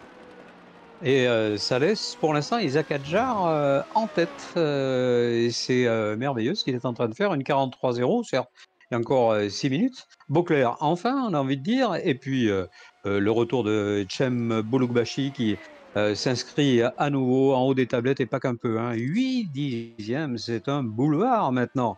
À l'image de ce que la course 1 nous a proposé tout à l'heure. Le départ est tellement important et les faits de course sont tellement euh, possibles que tout euh, reste évidemment incertain. Et heureusement que c'est comme ça. Beauclerc, enfin, Beauclerc, enfin, le numéro 84 qui s'inscrit quatrième, lui qui avait fait de très beaux essais libres. Alatalo, victime d'un accrochage au départ tout à l'heure dont il n'était pas à l'origine malheureusement. Et Donoso à la sixième position qui devance Dossi et Marc de Fulgencio. Alors, Saucy, pardon, alors Saucy, euh, absent aujourd'hui, de... pour l'instant en tout cas. Oui, pour l'instant, euh, 16 voitures sur, euh, sur ce tracé de, Suzuka pour la dernière course de cette saison de Formule 1 Renault eSport Series. On vous le rappelle, si euh, vous nous avez rejoint il y a quelques instants, le titre pour l'instant se joue entre Sam Boukbassi et Victor Martins. Égalité parfaite en termes de points, 115 points tous les deux. Celui qui terminera devant l'autre sera sacré champion de Formula Renault Sport Series. Ah ça, c'est du vrai bonheur. Il va rester un petit peu plus de la mi-parcours pour cette ultime qualification de la saison avec euh, bah, Victor Martins qui reprend euh, le deuxième rang. Et là, il se rapproche à moins de deux dixièmes de Sam Boulbouachi. Alors, je pense que c'est important, hein, psychologiquement au moins, avec un Nicolas Longuet euh, qui continue d'attaquer. Cette fois, c'est payant puisque c'est la troisième position. Ça bouge derrière, ça bouge pas mal avec Delozo qui vient de mettre tout simplement un point d'honneur à s'élancer pour la dernière depuis encore une fois une très belle place. Pour l'instant, il serait provisoirement trois de ce groupe. Oui, ça a énormément bougé, comme tu l'as dit, avec un William Anatalo qui euh, a, euh, pendant l'espace d'un temps, occupé une place sur la deuxième ligne, mais désormais est en troisième ligne avec un, chrono à 1 seconde 645 de la pole position. Il aura à ses côtés Bent Viscal, le numéro 12, euh, qui a réalisé un chrono très très proche, hein, puisque Bent Viscal, eh bien, il est à 3 dixièmes, 3 centièmes pardon, du chrono de William Alatalo. Allez, pour l'instant, on aurait une première ligne euh, dans laquelle serait impliqué Victor Martin, c'est qui, on le rappelle, n'était pas le cas tout à l'heure. Il a même euh, dit qu'il avait connu des, soucis euh, durant ses qualifications numéro 1. Alors qu'on voit à nouveau les couleurs BRM de Charles Milesi. Charles Milesi que l'on connaît bien pour ses parcours remarquables au sein du groupe de l'Eurocup, mais également de la F4 Avance là. Et bien sûr, toutes et tous ont tous, toutes et tous, un très très beau parcours en carte, hein, ça ne faut pas s'y tromper. Euh, petite pensée pour Patrick Damary, un journaliste spécialiste du, du kart qui nous a quittés euh, hier malheureusement. Allez, 2 minutes 50 dans cette séance de qualification. Victor Martins à 4 dixièmes. Est-ce que le pilote turc va améliorer son chrono? J'ai l'impression qu'il est un petit peu élargi euh, la sortie de, la chicane pour optimiser la, vitesse dans la ligne droite. 44.3. Oui, on a en effet coupé son effort dans le dernier tour. Et ça veut dire que ici, on va essayer de battre le chrono. On passe à, Marc de Fulgencio qui est en 43.9. Est-ce que ça améliore pour euh, la numéro 87 Ouais, il semble que non. Pour l'instant, Marc se contente de qualification assez moyenne. Euh, alors qu'en course, il est redoutable. C'est euh, encore une fois des, qualités assez différentes qu'il faut développer. L'idéal, bien sûr, on est d'accord, c'est de développer les deux. Euh, mais bon, en ce qui concerne Marc, de toute façon, on sait que c'est un, attaquant capable de, rivaliser d'équilibre pour essayer de, remonter, chose qu'il ne manquera pas de faire tout à l'heure.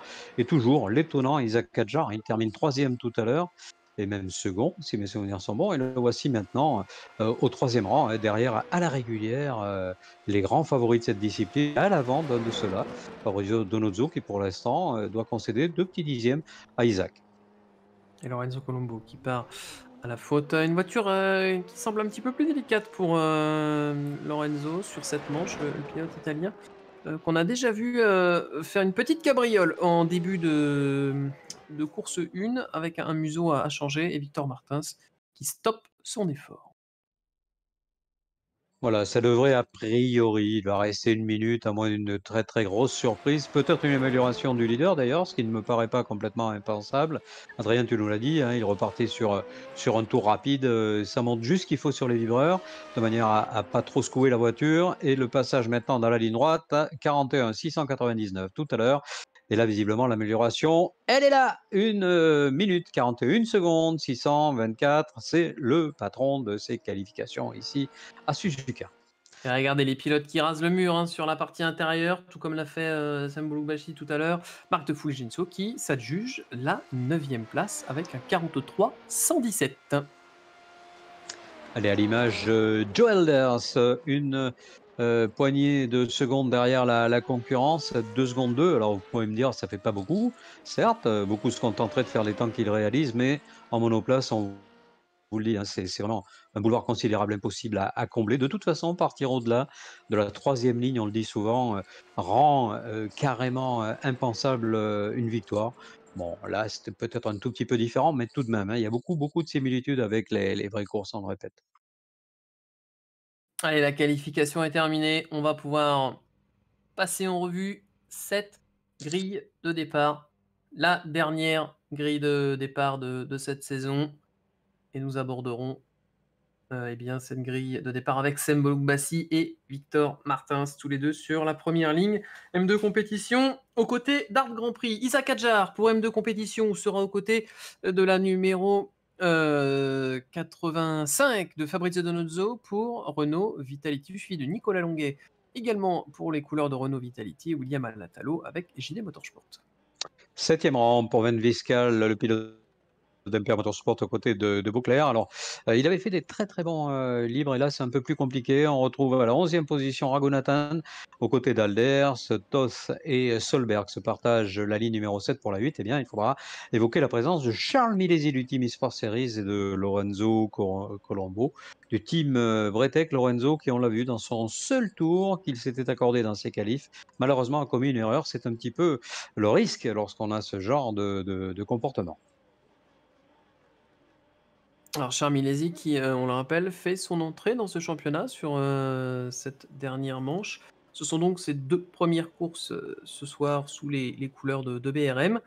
Un, tracé, on l'a dit, très technique, sur lequel eh bien, il faut connaître parfaitement sa voiture, savoir exactement où placer ses roues. On a vu pas mal de pilotes jouer un petit peu du volant pour arriver à garder le contrôle de leur véhicule et nous faire quelques petites figures de style dans la première course les pilotes se mettent en place. On va voir si la course numéro 2 va être aussi spectaculaire que la première course de la soirée. Allez, attention, on va mettre les 3 euh, litres 5 chrono bien haut dans les tours pour amener les 500 chevaux et plus euh, à une bonne posture et puis euh, éviter de trop patiner au départ. Allez, c'est parti Tout le monde s'élance et un nouvel incident. Et là, une grosse gamelle, comme on dit nouvel incident, on a euh, Bent Viscal et euh, Joey Elders qui sont euh, visiblement impliqués. Laslitos également est impliqué et Victor Martins a pris les commandes devant Sam Olubashi. Oh, derrière accrochage encore. Ah, encore un accrochage et là ça se passe un petit peu plus haut dans les classements. Oh, c'est Adjar. Adjar qui est tombé. Avec qui s'est-il accroché? Peut-être Aïe, aïe, aïe, aïe, dommage pour Isaac. on l'aura largement compris. Euh, je pense que rien n'est complètement défait encore pour lui, mais euh, les espoirs d'une victoire éventuelle qui était dans sa, portée, on va dire, hein, euh, sont en train de, s'échapper de la même manière que s'échappe un trio qui me paraît majeur. Martins, Boulouk Bashi et Donozo, pour l'instant, patron de cette dernière course de la saison. Mais ces trois hommes ont donné le ton au début de course numéro 1. Oh, l'erreur L'erreur de Victor Martins Ah là là, le tournant du championnat, le voilà On l'attendait pas là, c'est sûr. Euh, mais bon, c'est comme ça, c'est la course. Euh, on n'a pas compris la raison. Je pense qu'il s'y est mis tout seul, hein, comme un grand. Ouais, on va peut-être voir l'action, mais là, c'est la surprise de cette dernière course. Victor Martins qui part à la faute et qui va devoir cravacher pour essayer de remonter, mais le pilote turc ne va pas se laisser faire. Il va avoir, par contre, par contre Fabrizio Donoso dans ses rétroviseurs. Est-ce que le pilote chilien va être capable d'embêter le pilote turc suffisamment pour lui faire perdre les pédales? Oui, ça me paraît tout à fait, tout à fait vraisemblable. Je pense qu'il y a la, volonté de la part de Donoso également de démontrer qu'il n'était pas là pour amuser le terrain. Il est en train de faire la belle démonstration au freinage qui nous est proposé maintenant. Waouh, bien vu. Mais je pense honnêtement euh, que Boulouk Baji n'a pas résisté euh, plus que cela. Alors qu'on se tourne vers le classement des pilotes engagés en Eurocup pour savoir si, bah, faute de mieux, Victor Martins euh, est capable d'aller chercher sa dotation en Cook euh, même s'il nous déclarait tout à l'heure qu'il préférait la victoire au championnat. Bon, je pense qu'il a compris que ça va être très très très compliqué, quoi qu'on ne sait jamais, hein, n'est-ce pas? Il peut se passer des choses devant. Euh, voilà, attention, on va revoir ça, Adrien, et je pense... Euh, ah non, c'est le départ, en fait, qui a été marqué par pas mal d'accrochages. On va le revoir depuis la voiture de Laszlo Tots. Une voiture qui reste un petit peu collée en grille, et puis là, oui, le, le contact assez fort. Slutos qui n'a pu éviter les concurrents. Et ensuite, au, premier tour, on va voir depuis la voiture d'Isaac Adjar. On passe à deux de front et le petit contact. Et euh, voilà, ça s'accroche entre Isaac Adjar et, Nicolas Longuet. On a essayé de passer à deux de front. C'est euh, une piste étroite, hein, ce tracé de, de, Suzuka. Et passer à deux de front dans des virages rapides comme ça, c'est un exercice très, très, très périlleux. Alors, il n'est impensable euh, que l'on puisse revoir. Voilà, la... oh, tout seul, ouais, absolument. Hein, Martin, ce qui a perdu l'arrière de sa voiture, euh, est allé taper dans la rail. Il n'a pas perdu énormément de temps, mais suffisamment en tout cas pour repartir au huitième rang, ce qui laisse espérer pour lui une éventuelle euh, position, euh, allez, on va dire dans le top 5, mais ça va pas être facile, facile.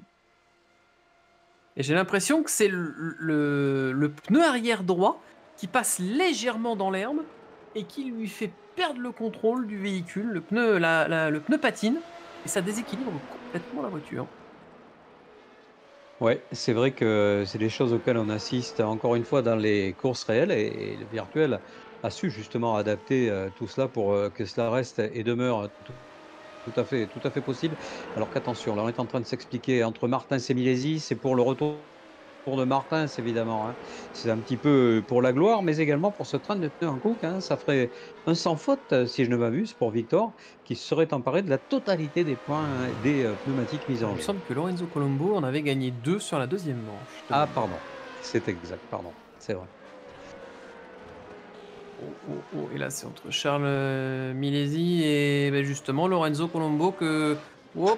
Et de nouveau le tête à queue pour euh, Victor Martins qui a essayé de se défaire de Charles Milesi, mais ce n'est pas passé. Et alors là, par contre, c'est euh, un boulevard qui commence à se dessiner pour Sem Bolukbashi qui va essayer tout simplement d'accrocher l'aileron et la boîte de vitesse de euh, Fabrizio Donozzo pour ne plus la lâcher et sécuriser le titre au classement général.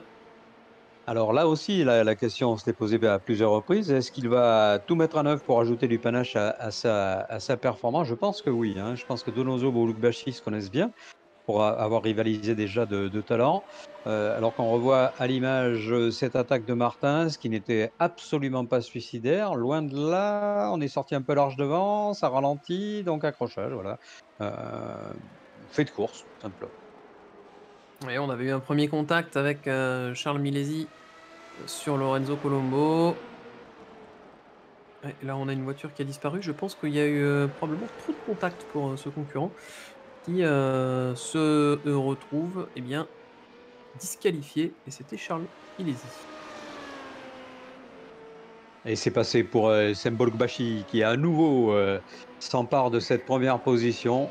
Il est vraiment euh, sur une espèce de, planète particulière lorsque la dynamique est bonne, lorsque la réussite est, au rendez-vous et lorsque finalement la légitimité de ce titre eh bien, semble être euh, tout, à fait, tout à fait présente.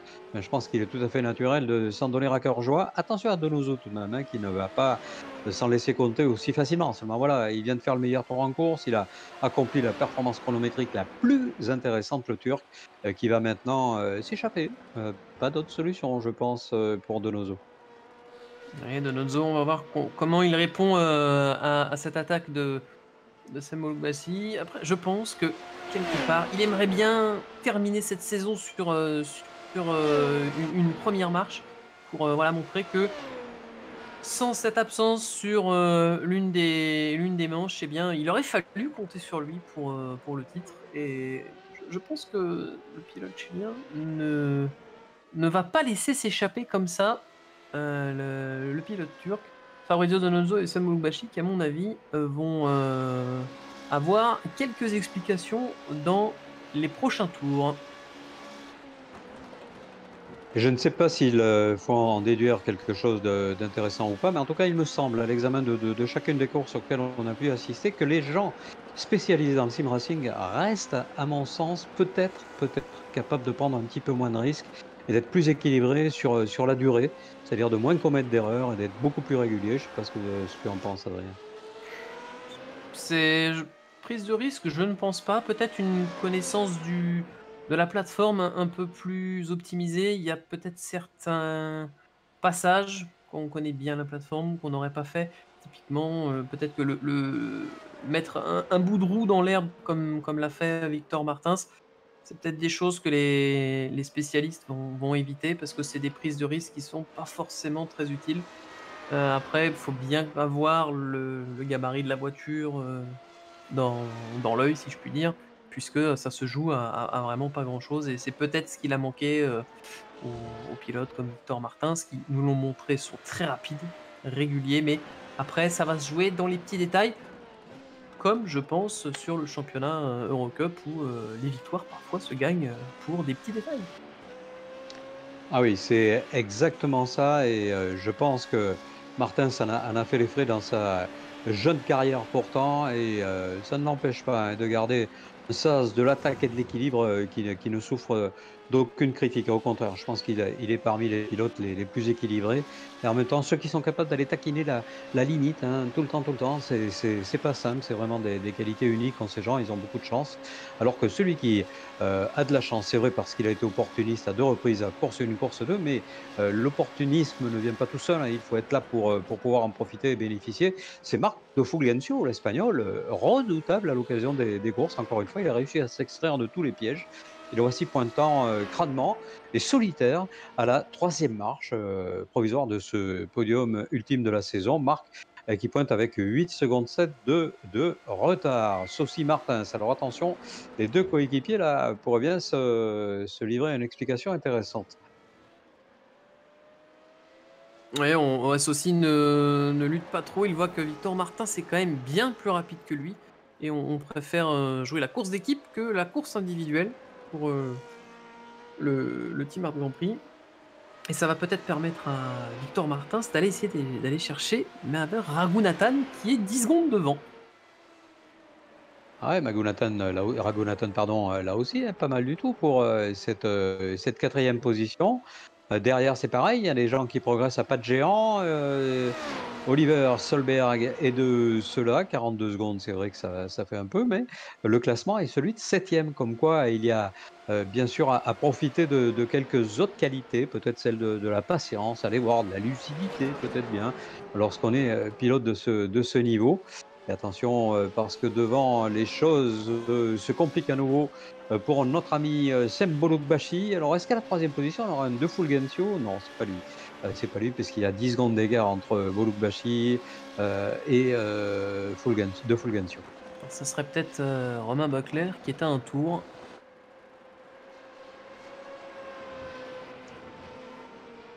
Allez, il va rester euh, un petit peu moins, un petit peu plus que la mi-parcours euh, pour euh, cette saison. et on est déjà très heureux d'annoncer, comme tu l'as fait Adrien tout à l'heure, qu'il n'est pas du tout impensable que qu'on remette le couvert. Euh, dans un cadre qu'on espère différent. Mais pourquoi pas euh, pérenniser cette. Euh, on peut imaginer que ça puisse se dérouler en intersaison, par exemple. c'est un moyen de rester dans le baquet, un moyen de, rester dans la course, dans le, dans le rythme, même si ces gens-là, attention, hein, ils sont des sportifs de haut niveau et ils ne, s'arrêtent jamais. Ils sont toujours en train de faire de la musculation, des trucs, des machins, de courir, du vélo, de la, simulation, bien évidemment.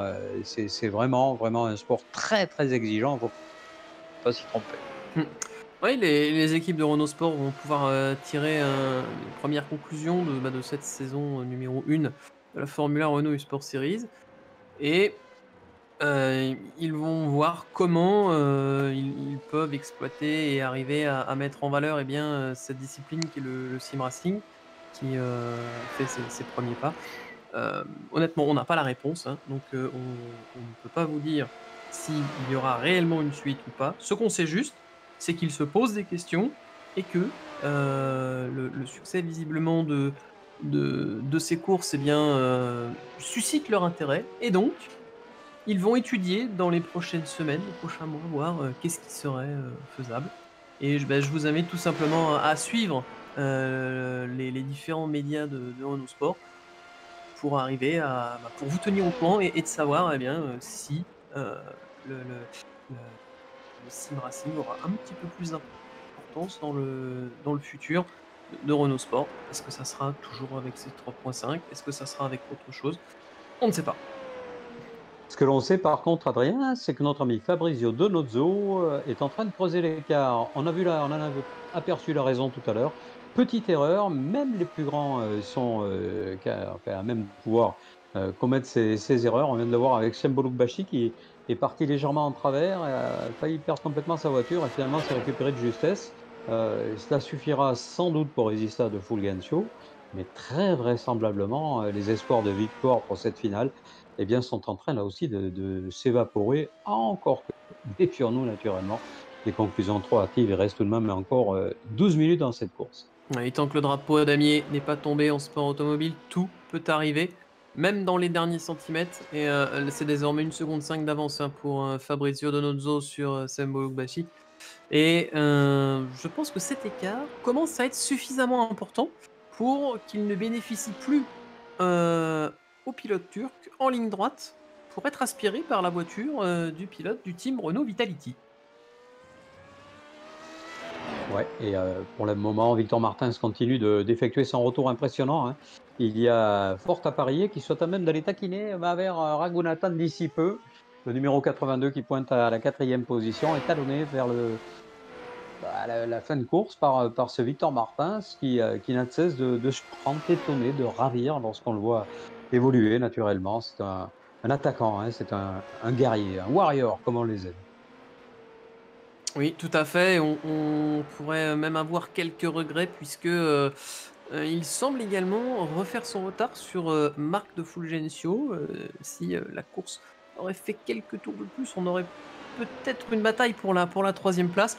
Mais il faut bien que toutes les meilleures choses aient une fin. Et eh bien, sur ce championnat, les courses font 25 minutes. Il en reste donc un peu plus de 10 à, parcours, à laisser filer avoir euh, le drapeau damier et ça nous fait environ 6 tours pour euh, les différents pilotes. Si on regarde l'écart qui était euh, fait sur le dernier tour, Victor Martin, ça a repris une seconde une sur Mavir Nathan et donc on, peut espérer 6 secondes de repris pour, pour Victor sur Mavir. Et c'est exactement l'écart qu'il y a entre ces deux pilotes. Donc on peut penser que la lutte pour la quatrième place aura lieu dans le dernier tour. Ben, on va voir si vos extrapolations s'avèrent justes. En tout cas, il semble bien que vous ayez raison, puisqu'on voit cet écart qui est en train de se réduire comme peau de chagrin.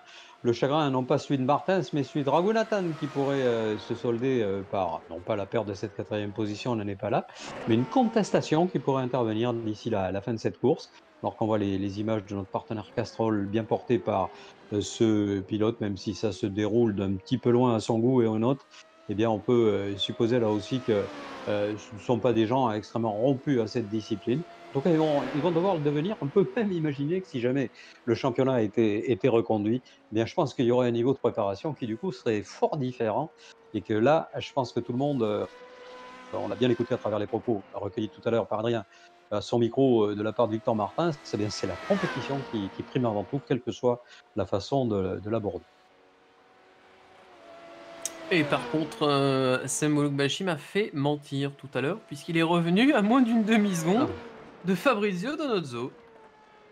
Ah ouais, c'est dire le, potentiel de, ce jeune Turc, hein, incroyable, incroyable. Vivement qu'on puisse le, le, voir à nouveau assis dans une, dans une voiture au milieu des autres. Je pense qu'il y a toute sa place, alors qu'on voit, euh, bien sûr, comme en Formule 1, que les zones de DRS sont, sont bel et bien présentes. Euh, sachant que, au dire en tout cas de, quelques pilotes, tels euh, le pilote Lorenzo Colombo la semaine dernière, ou il y a 15 jours plutôt, eh bien, ça n'était pas d'une influence majeure selon les circuits sur lesquels évoluent ces, pilotes. Et Bolok Bashik, collé dans la boîte de et attention par contre à, ne pas se retrouver avec un, drive-through comme ça aurait été le cas, ça a été le cas pour Fabrizio en, course 1. Ça serait dommage pour euh, celle de, voir passer par la voie des stands à 8 minutes du terme et avec 29 secondes d'avance sur son opposant direct pour le titre. Ah, ah je vous sens euh, capable de, supposer cela. Oui, bien sûr, bien sûr que rien n'est jamais terminé, je suis d'accord. Et euh, on le voit maintenant. Je pense que de ce qu'il nous a démontré de lucidité, je n'imagine qu'assez mal qu'il puisse y avoir un accrochage. Quoique la rivalité entre les deux, elle est bien là. on sent la prise de risque quand même euh, un peu plus maîtrisée pour Sam Bolbassi. Par contre, Fabrizio Donozzo a clairement montré qu'il ne comptait pas laisser la plus haute marge du podium sans la défendre.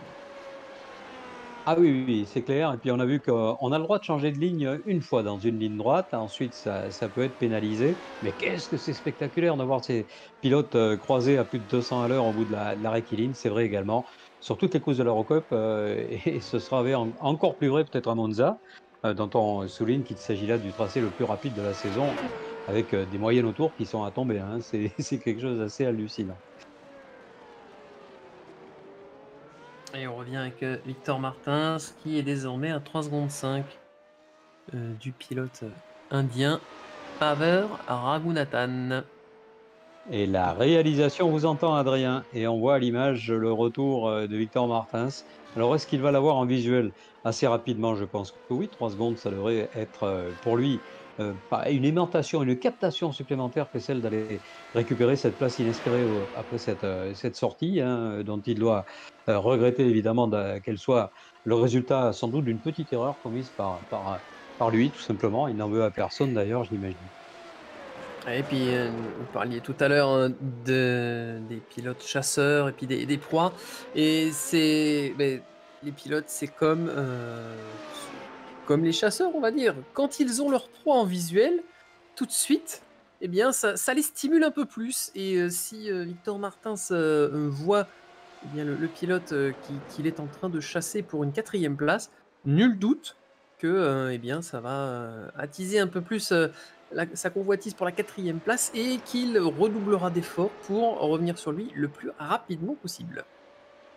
Et voilà, on voit Boulouk Bashi qui a, qui a repris, euh, non pas la SPI, mais qui reste sereinement à, la deuxième position. C'est vrai que euh, inscrire ce genre de, de, championnat sur une des lignes de son palmarès, c'est tout à fait intéressant, hein, parce que Boulouk Bashi est certes un pilote de simulation, euh, de pilote un pilote de voiture réelle, mais également un, fighter de tout premier ordre. Il est tout tout jeune, hein. on a pu l'apercevoir euh, accueilli par les télévisions euh, turques parce qu'il est très connu là-bas. On avait beaucoup beaucoup de commentaires d'ailleurs autour de sa performance.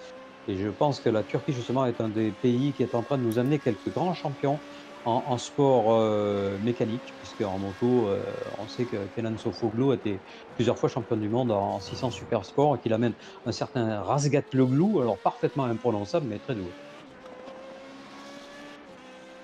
Oui, c'est euh, des, pilotes que, que l'on découvre sur, sur ce championnat. Alors, est-ce que cette bonne figure sur ce championnat pourrait le ramener dans, un, dans, une, euh, dans une monoplace en, Eurocup?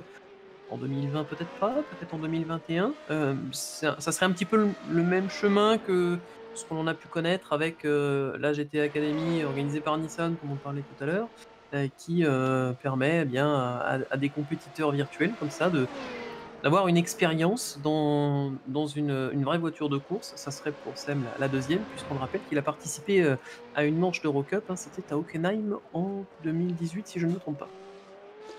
Ouais, non, mais c'est euh, absolument génial. Et je pense que euh, cette passerelle, justement, l'initiative de Renault Sport, que d'avoir invité à la fois des pilotes capés en, monoplace et, et, et en Berlin, d'ailleurs, on pense aux pilotes de la Clio qui sont là présents, on pense à Bocher, on pense à, à Dofulgentio eh bien, est une excellente idée. Pourquoi pas, encore une fois. Euh, allez, là, on se prend à rêver. On se prend à rêver un petit peu. Un championnat hivernal avec les, les vrais pilotes des vraies courses du championnat estival. Oh, ça serait sympathique, ça. Eh ben, on verra si euh, ça sera quelque chose qui verra le jour. Mais pour l'instant, il va nous rester 3 minutes 20 avec euh, Fabrizio Donozzo aux commandes de cette course avec dans ses échappements et bien calé au chaud sous l'aileron et derrière la boîte de vitesse. Un Sembolo Bassi qui euh, attend le drapeau à Dami. Est-ce qu'il va tenter une attaque dans le dernier tour pour quand même essayer d'aller ravir cette, victoire et euh, quelque part gagner avec une victoire sur la dernière course ou est-ce qu'il se contentera d'une deuxième place? Eh ben, Je crois qu'on va avoir la réponse puisqu'il porte une attaque sur Fabrizio Donozzo.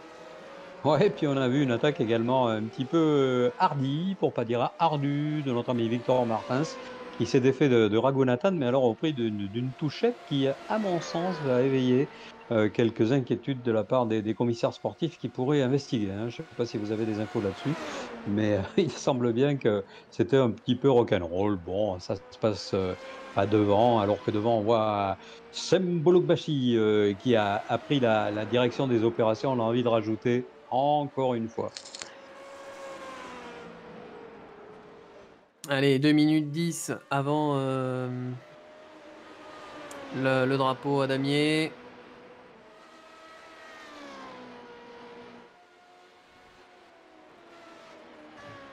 Voilà, on va faire Un petit replay sur la- l'accrochage entre euh, Martins et Ragunathan. On va voir comment ça s'est passé. Allez, il a fermé un petit peu la porte, Ragunathan, mais sans, sans mauvais geste, à mon avis. Et là, Martin se jette à la corde. C'est peut-être là euh, que, l'erreur a été euh, commise. En tout cas, ouais, il y a eu un petit contact en fait.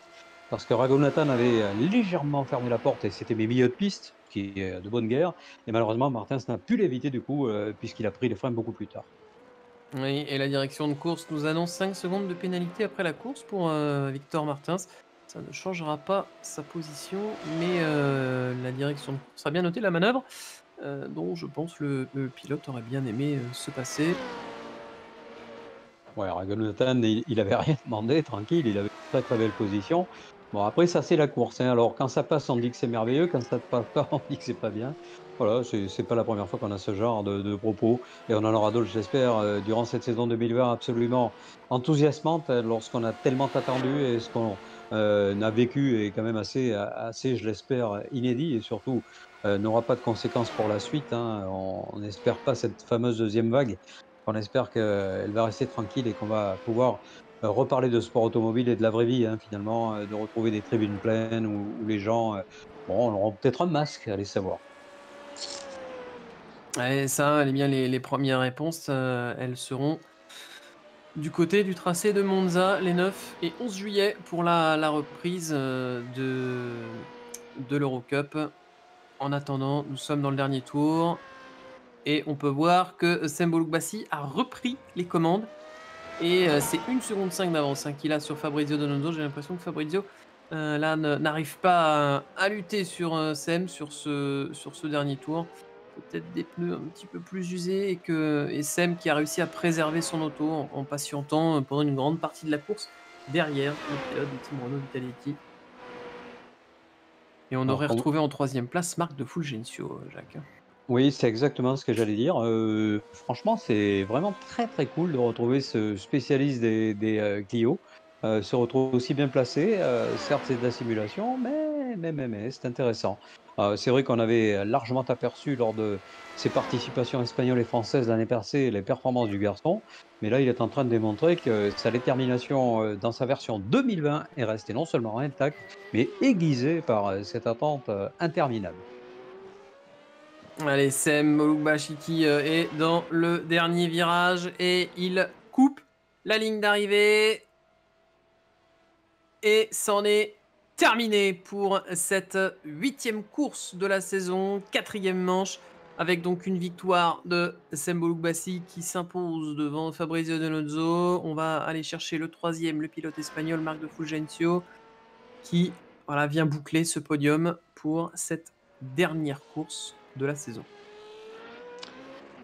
à une course en, tout point remarquable qui nous fait complètement oublier qu'il euh, ne s'agit pas de course réelle, euh, comme quoi hein, la simulation, et je pense que les progrès techniques n'ont pas fini de nous surprendre à ce niveau-là, et, je pense que tout un chacun se doit d'essayer un jour ou l'autre euh, ces simulateurs. Alors, essayer d'aller rivaliser avec eux, ça va être très compliqué, euh, mais déjà se faire plaisir, c'est absolument énorme, avoir les sensations, la sonorité d'une tubulure d'échappement d'un moteur de 3.5 euh, Renault, euh, à l'image de ce qu'on a pu euh, vivre avec euh, cette voiture qu'on a fait revivre d'ailleurs.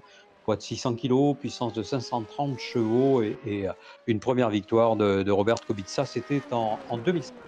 On se rappelle de l'affluence record pour le circuit Bugatti du Mans euh, cette même année. Et, on, on- on en parlait un petit peu en off tout à l'heure, euh, mon cher Jacques, mais la simulation est également un, un- un- un net av- avantage si vous avez, comme moi par exemple, un lest naturel qui vous handicape fortement quand vous essayez de faire la course. Là, vous vous faites du mal, vous vous faites du mal. Allez, Sembo Bassi qui euh, s'impose devant euh, Fabrizio Donozzo, devant Marc de Fulgencio, Victor Martins quatrième, Grégoire aussi cinquième. On pourra remarquer M2 compétition, le Renault Vitality, le Team Sport Series et deux voitures de Shared Grand Prix dans le top 5. Voilà, et Lorenzo Colombo, euh, bah, est lointain, lointain, dixième, ça n'est certes pas sa place, mais on a pu apprécier euh, ses qualités de combattant à d'autres, euh, à d'autres reprises. Je pense qu'il va nous démontrer qu'il est capable de nous proposer une saison absolument euh, géniale. Et la deuxième partie euh, du, résultat, des résultats de cette euh, grille avec Charles Milesi, Isaac Adjar, Nicolas Longuet, Laszlo Tots, Joël Ders et Bente Viscal impliqués dans les, incidents du, départ de course. Donc, on va attendre quand même les résultats officiels de la course, mais il y a peu de doutes pour que l'on ne puisse pas attribuer le titre à Sem Boloukbassi sur, sur cette manche. Je ne sais pas si on aura le détail des points, mais ce tête à queue eh bien, aura, aura quand même coûté très très cher à Victor Martins, puisque ça l'aura relégué dans le peloton. Et une, une deuxième mésaventure lui sera arrivée un petit peu plus tard en essayant de, reprendre une position.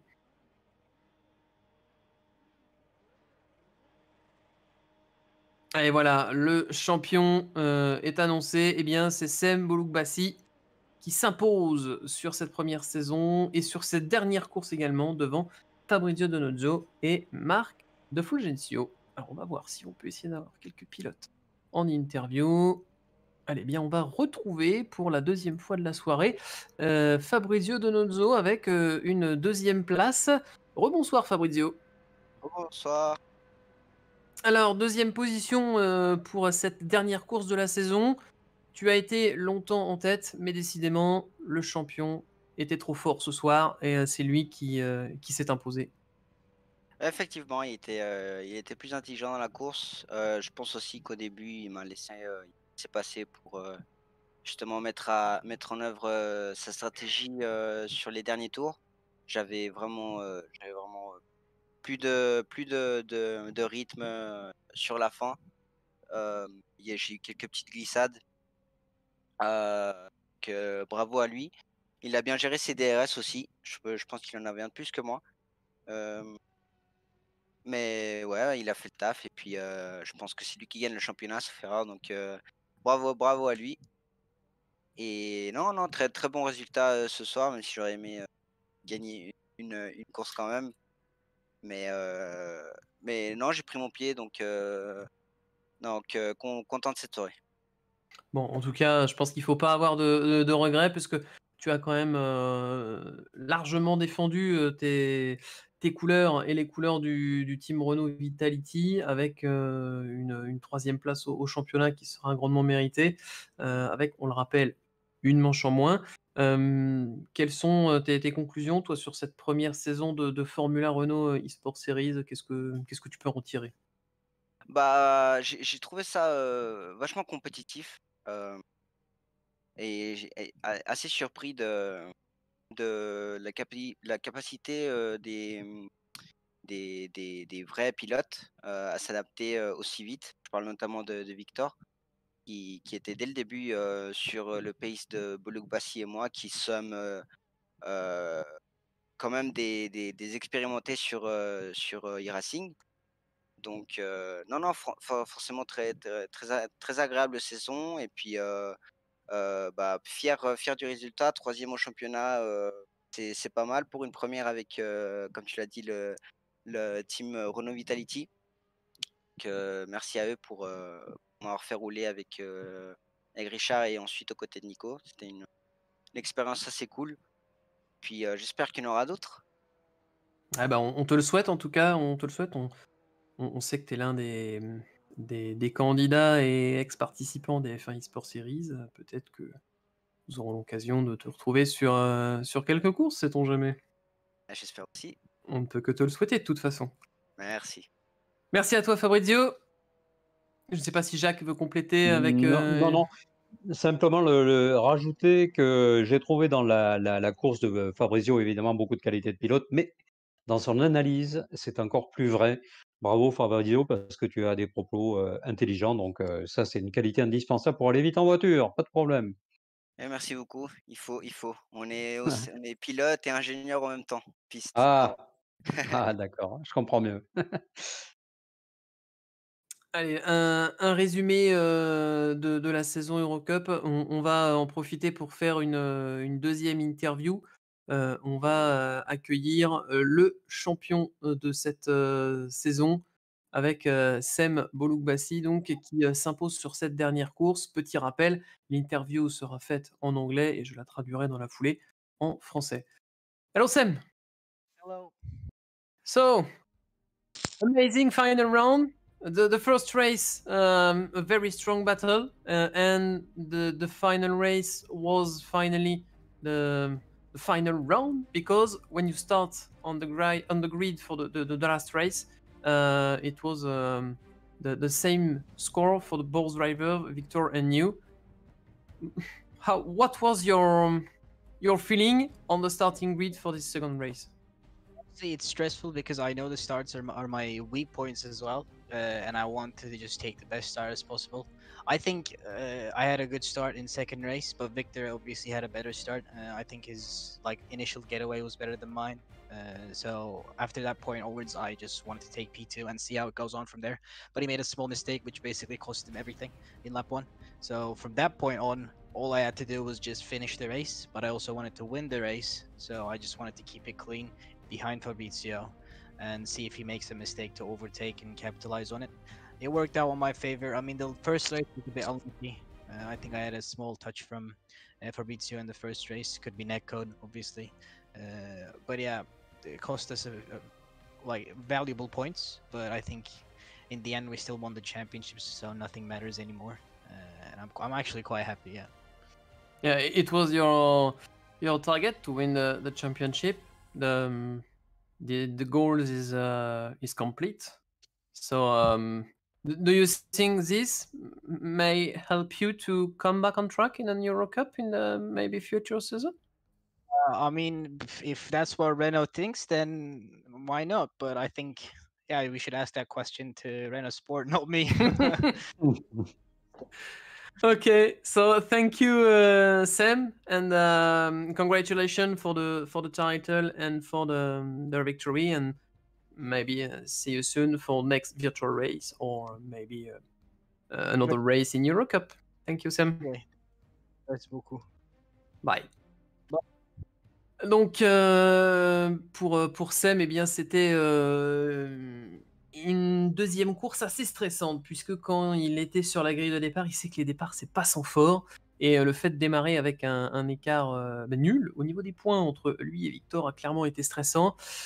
Après, euh, il a vu que Victor avait quand même un sacré rythme. Ma- Marion, la petite erreur qu'a fait Victor, eh bien quelque part ça l'a délivré parce qu'il s'est dit ok maintenant il faut rester derrière Fabrizio et attendre, voir si on pourra trouver une opportunité et essayer de bah, d'aller gagner parce qu'il voulait quand même gagner. Il nous l'a dit, il tenait à gagner euh, cette course et finalement c'est dans les dans les derniers tours où il a pu euh, eh bien mettre en marche son, son plan de bataille et prendre le dessus sur Fabrizio pour gagner cette course et par la même occasion le titre. On lui a demandé ensuite si euh, eh bien, euh, si espérait pouvoir peut-être grâce à, ces- à ce championnat euh, remonter un jour dans une Eurocup. Euh, alors bien sûr vous vous en doutez, il ne dira pas non. Après, il lui faudra peut-être un, petit coup de pouce pour arriver à concrétiser ça une, deuxième fois. que, que quelqu'un lui laisse sa chance, Sport, ou peut-être quelqu'un d'autre, ça, eh bien, il faudra voir dans les, dans les mois à venir si eh bien, ce, ce petit coup de pouce euh, lui arrivera ou pas. Thank you, Sam, and congratulations again. Thank you. Thank you. Bye. Bye bye. Allez, on, on va essayer de voir avec euh, eh bien, euh, Marc de Fusencho, le pilote espagnol qui a terminé en, en troisième place. Hello, Marc. Hello, hello. So, third position for you in the second race. It was the fourth in the first race. Um, Suzuka uh, seems to, to be very um, uh, very nice track for you, which uh, give you some success. Yeah, it's a really nice track. Um, uh, I'm not really used to drive this type of cars, these single seaters, and and I'm not used, and I've never driven in the real life in Suzuka, so I'm pretty happy of how everything went. Um, of course, I, I I knew before the race that I wasn't the fastest on track, so I just uh, tried to be uh, to don't be silly and don't don't crash the car in, into the wall. So I was with a relaxed pace, trying to don't spin and don't crash, and trying to finish the race. Okay. Um, thank you for uh, for your time and thank you for uh, for this uh, feedback. Um, it, it was your um, first time with uh, with this car for this season, or you have still raced with the Formula Euro 3.5 on iRacing? No, I, I only did with this car at the last race in Austin in Kota. So this was my my second meeting with this car. I I bought the car only for this for this championship to do these two rounds. Uh, so I'm not really used to it. Um, in my racing, I'm more used to drive GT cars or DCR. So it's good to be to know that. Uh, of course, I'm not. I I need to improve one second to be the fastest, but I'm I'm there. Yeah, so um, you you discover the car for this championship, so that means uh, not a lot of practice. I, I think it's quite different compared to the car that you you drive regularly for the, the Renault Sport Series, the the Clio Cup. Yeah, yeah, yeah. Completely, it's completely different car. So much more power. It's quite difficult to drive and to to stay on the track with this car. So it's good. Yeah. Okay, maybe one day uh, we can add a Clio Cup on the sim on the simulation game. Let's, Let's see. see. Let's see. Thank- if, if it I would like to to try it. yeah, thank you, uh, Marc, and uh, see you soon. Bye. Thank you. Thank you. Bye. Voilà, donc pour euh, Marc, eh bien, euh, c'était euh, une troisième une quatrième place hein, sur, sur ce week-end, on l'a dit. euh, il, il a euh, sécurisé les positions quand il a vu qu'il y avait quand même pas mal d'incidents et que ça lui permettait d'accéder euh, aux avant-postes. Il a sécurisé les, positions. Alors, euh, je lui ai demandé si c'était euh, ses premières courses avec cette voiture. Alors, bien sûr, non, pas ce soir. Il, a, il était là sur les courses précédentes. Mais il, a acheté la voiture pour ce, circuit, pardon, pour, cette, pour ce championnat. Et du coup, bien, il a découvert le, le bolide avec la Formula Renault eSport Series. Et euh, bon, avec ses talents de pilote, il a rapidement compris comment tout ça marchait, comment on arrivait à, l'exploiter. Maintenant, passer d'une Clio Cup à une Formule Renault 3.5, qui plus est en plus d'une voiture physique à une voiture virtuelle, ça demande un petit temps d'adaptation qui, euh, ce soir, eh bien, il a réussi à, nous démontrer avec euh, ce beau podium et cette belle quatrième place. Voici donc, Jacques, la, la fin de ce, de ce championnat. Bah oui, écoutez, euh, on est à la fois triste, mais aussi ravi que euh, ait pu euh, bien combler notre notre frustration euh, printanière de cette manière. En tout cas, j'étais ravi de travailler avec vous. C'était euh, c'était un bonheur total. Et j'espère très sincèrement, et je suis sûr quelque part, que nous aurons l'occasion de nous croiser ici ou là, où euh, ça sera très certainement sur un circuit de voiture, et puis qu'on reparlera de sport automobile, qu'on reverra ces champions, et qu'on va à nouveau se faire plaisir. C'est également un, vrai plaisir de pouvoir commenter ces courses euh, avec euh, la voix des circuits euh, que, l'on a quand on assiste aux, séries Renault Sport. Et en tout cas, ça, a été vraiment très très plaisant. Et si on se recroise, il y a fort à parier en effet que, que ça sera sur un, sur un circuit. Les, premières manches en France étant pour la Formule Renault Eurocup, on le rappelle, à Manicourt le 11 et le 13 septembre, et le 21 et le 23 août pour la Clio Cup sur le tracé Paul Armagnac de Nogaro. Absolument. Je pense qu'on va pouvoir rendre l'antenne. On va tout simplement remercier euh, Renault Sport euh, ainsi que, que ses partenaires pour euh, eh bien, toutes ces courses et ce beau championnat, Castrol, Hankook, GP Extreme et euh, BRM. Et on va également remercier tout le, le staff, tec- le staff technique qui est derrière, derrière cet événement, que ce soit le staff Renault Sport ou euh, bien les différentes équipes de réalisation et, de suivi de course. Et puis ben, nous, on vous dit à très très bientôt sur la chaîne de Renault Sport ainsi euh, que euh, un très très bientôt à toutes les personnes qui nous ont suivis sur euh, eh bien, ces courses. Merci Jacques et bonne soirée. Merci Adrien, bonne soirée, bonne soirée à toutes et à tous. On se retrouve très très vite sur les circuits. À bientôt.